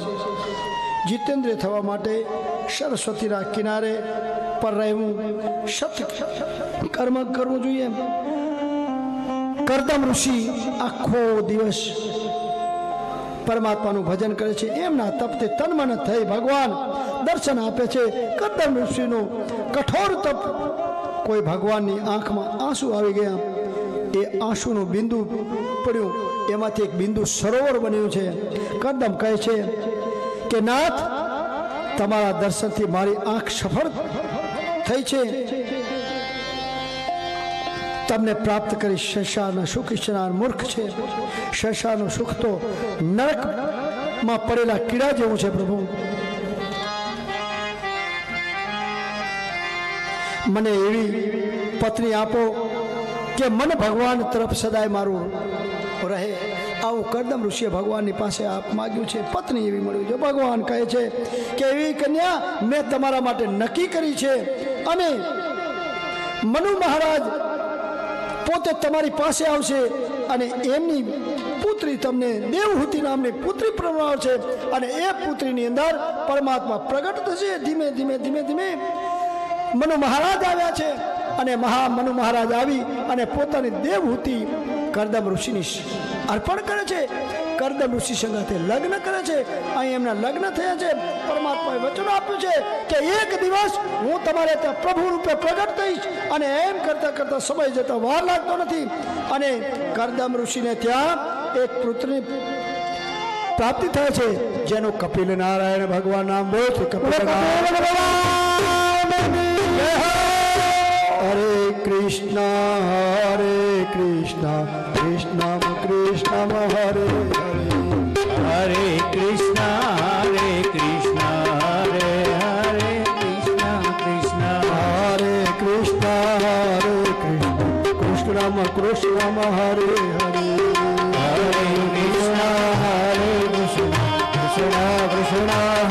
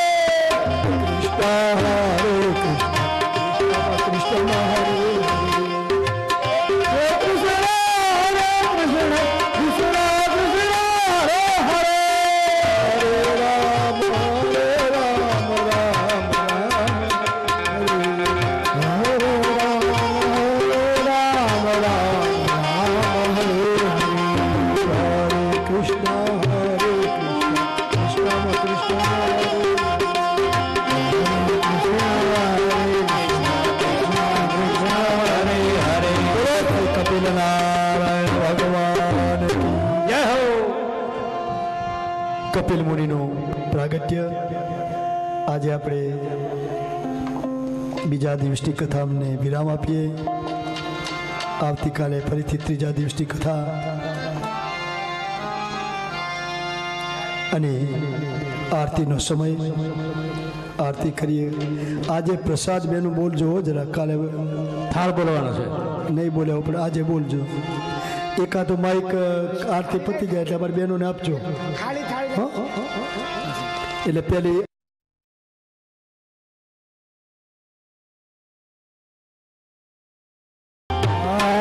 burn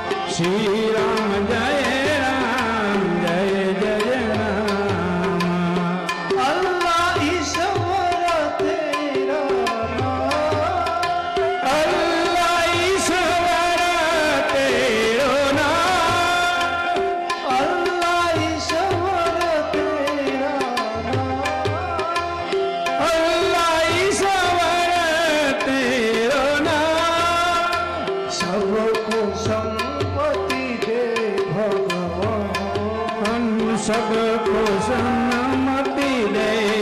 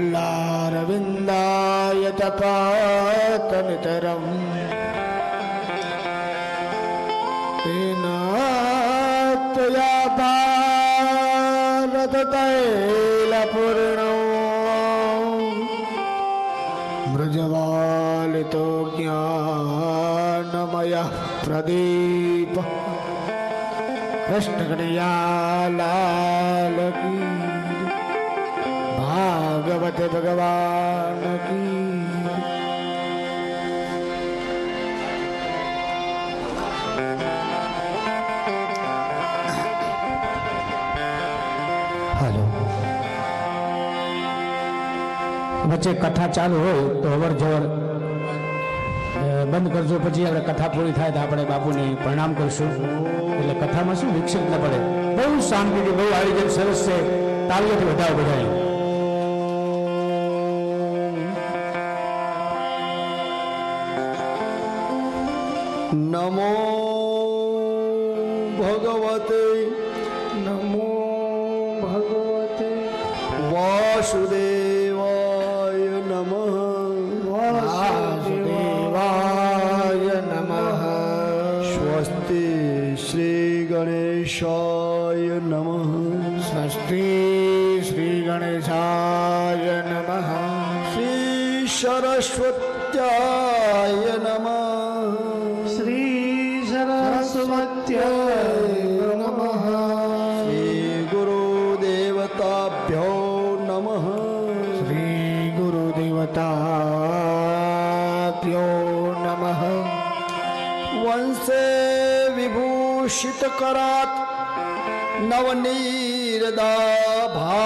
ભાગવતમ પિતાંબરા ધર્મમી બપલા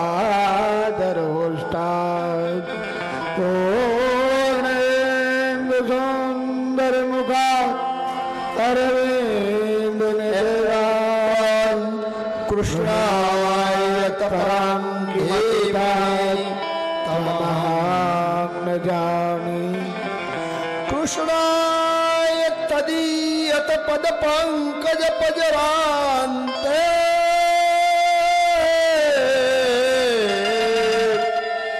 तदैव विष्णु सतमाम रचराज सह प्राण प्रयाण समय। कखवा तपे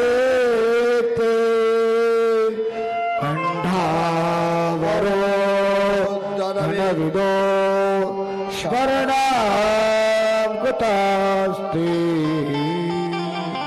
શ્રીદ્વારિકાધીશ કી શ્રી બાલકૃષ્ણલાલ કી સદગુરુ ભગવાન કી માતૃપિતૃ ગુરુ ભગવાન કી ઓમ નમઃ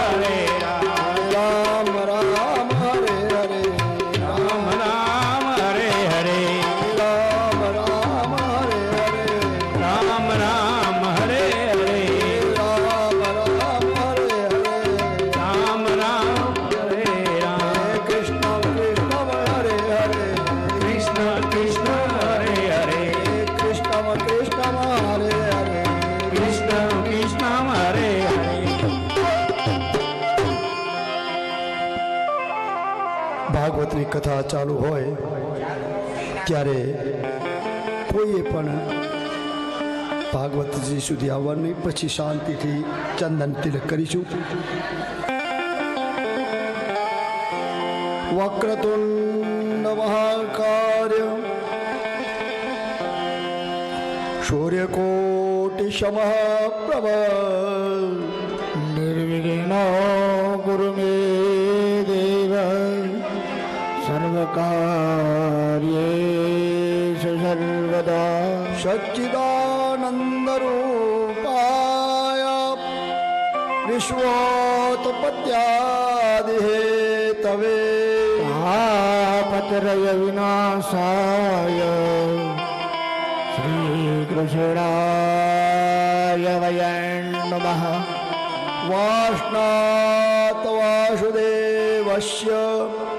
वासितं मृगत्रयं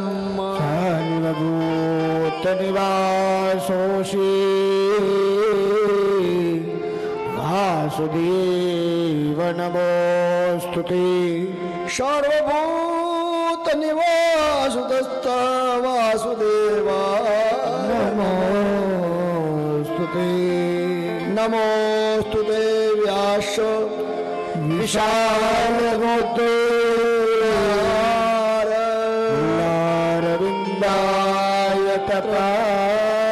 કરો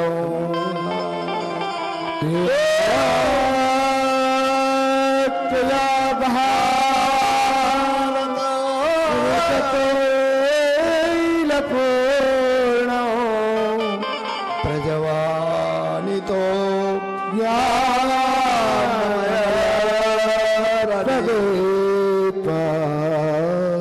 યમ બ્રહ્મ વજ્રંત यं प्रौरवल्लमवेतमवेतवृभुयो द्वैपायनो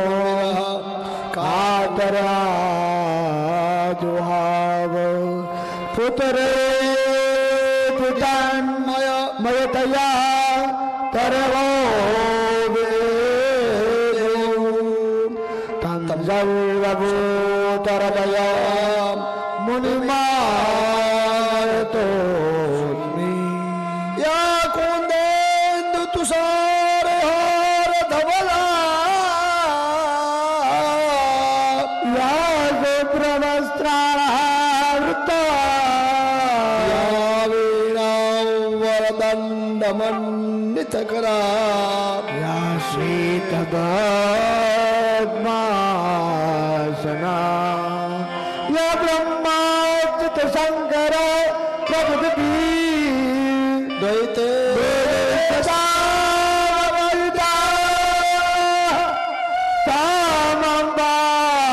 सरस्वती भगवती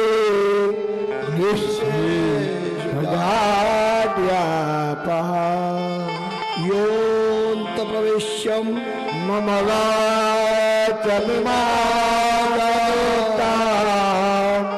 सन्देहयत्यखिलशक्तितरा सदा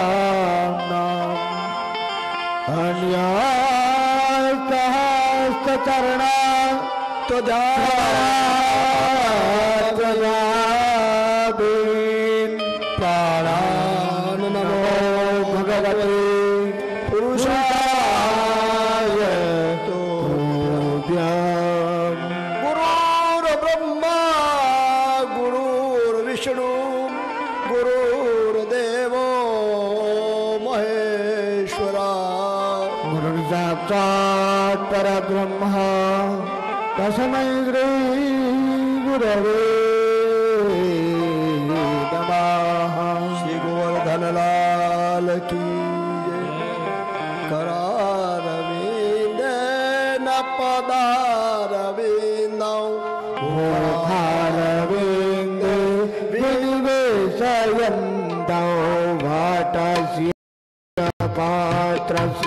ભૂતયાનમ ગોવિંદ દામો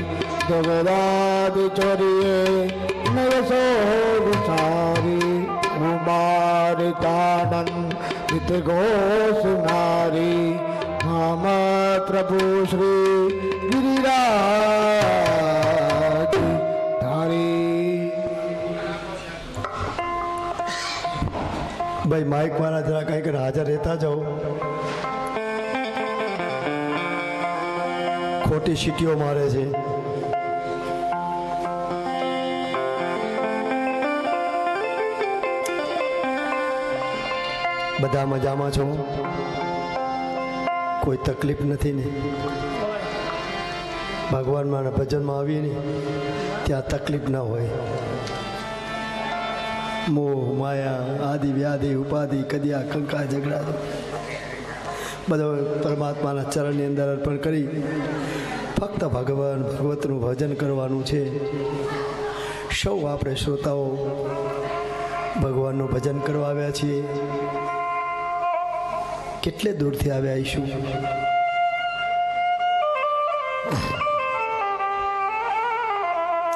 કચ્છમાંથી આવ્યા છે, કોઈ કાઠિયાવાડમાંથી આવ્યા છે, કોઈ બનાસકાંઠાના અમુક જિલ્લા તાલુકાઓમાંથી આવેલા. તકલીફ પડીએ છે, જાણું છું. ઘણો મનમાં પણ મને ખેદ થાય છે. ક્યાંય પણ અભાવ રહી ગયો હોય, તો શ્રી હરિના ચરણમાં ધરી દેજો.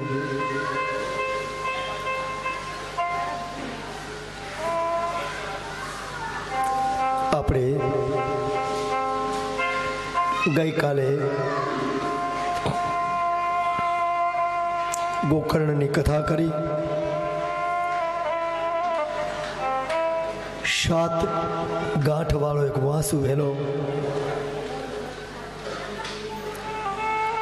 ક્યાંય જગ્યા ન મળી, ધૂંધોલી આવીને ઉપર બેસી ગયો. કદાચ તમને પણ ક્યાંય જગ્યા ન મળે, તો જ્યાં જગ્યા મળે ત્યાં બેસી જજો. આ તો કથાનો પ્રભાવ છે સાહેબ. મારે આગળ બેસવું ને મારે પાછળ બેસવું. એવું કંઈ પણ રાખશો નહીં.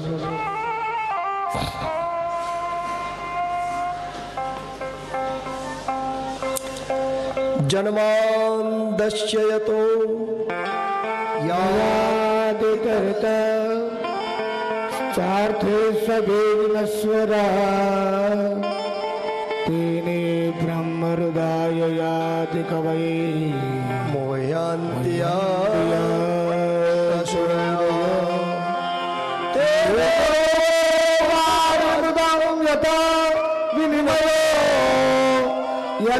ત્રિસર્ગો વૃષામ ધામ્નાસ્વેન ગદા નિરસ્તકુહગામ સત્યમ પરમ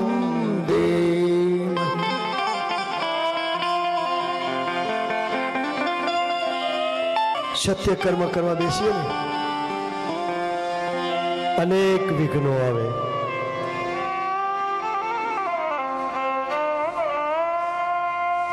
કોઈ પણ શક્તિ કર્મ બી કરવા બેસો.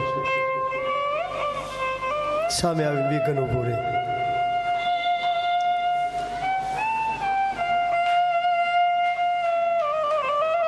આ બધાને દૂર કરવું હોય તો શું કરવું?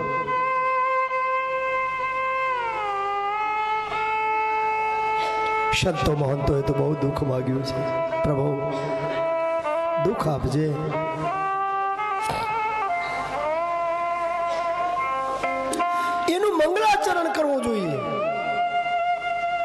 મંગલનું આચરણ કરો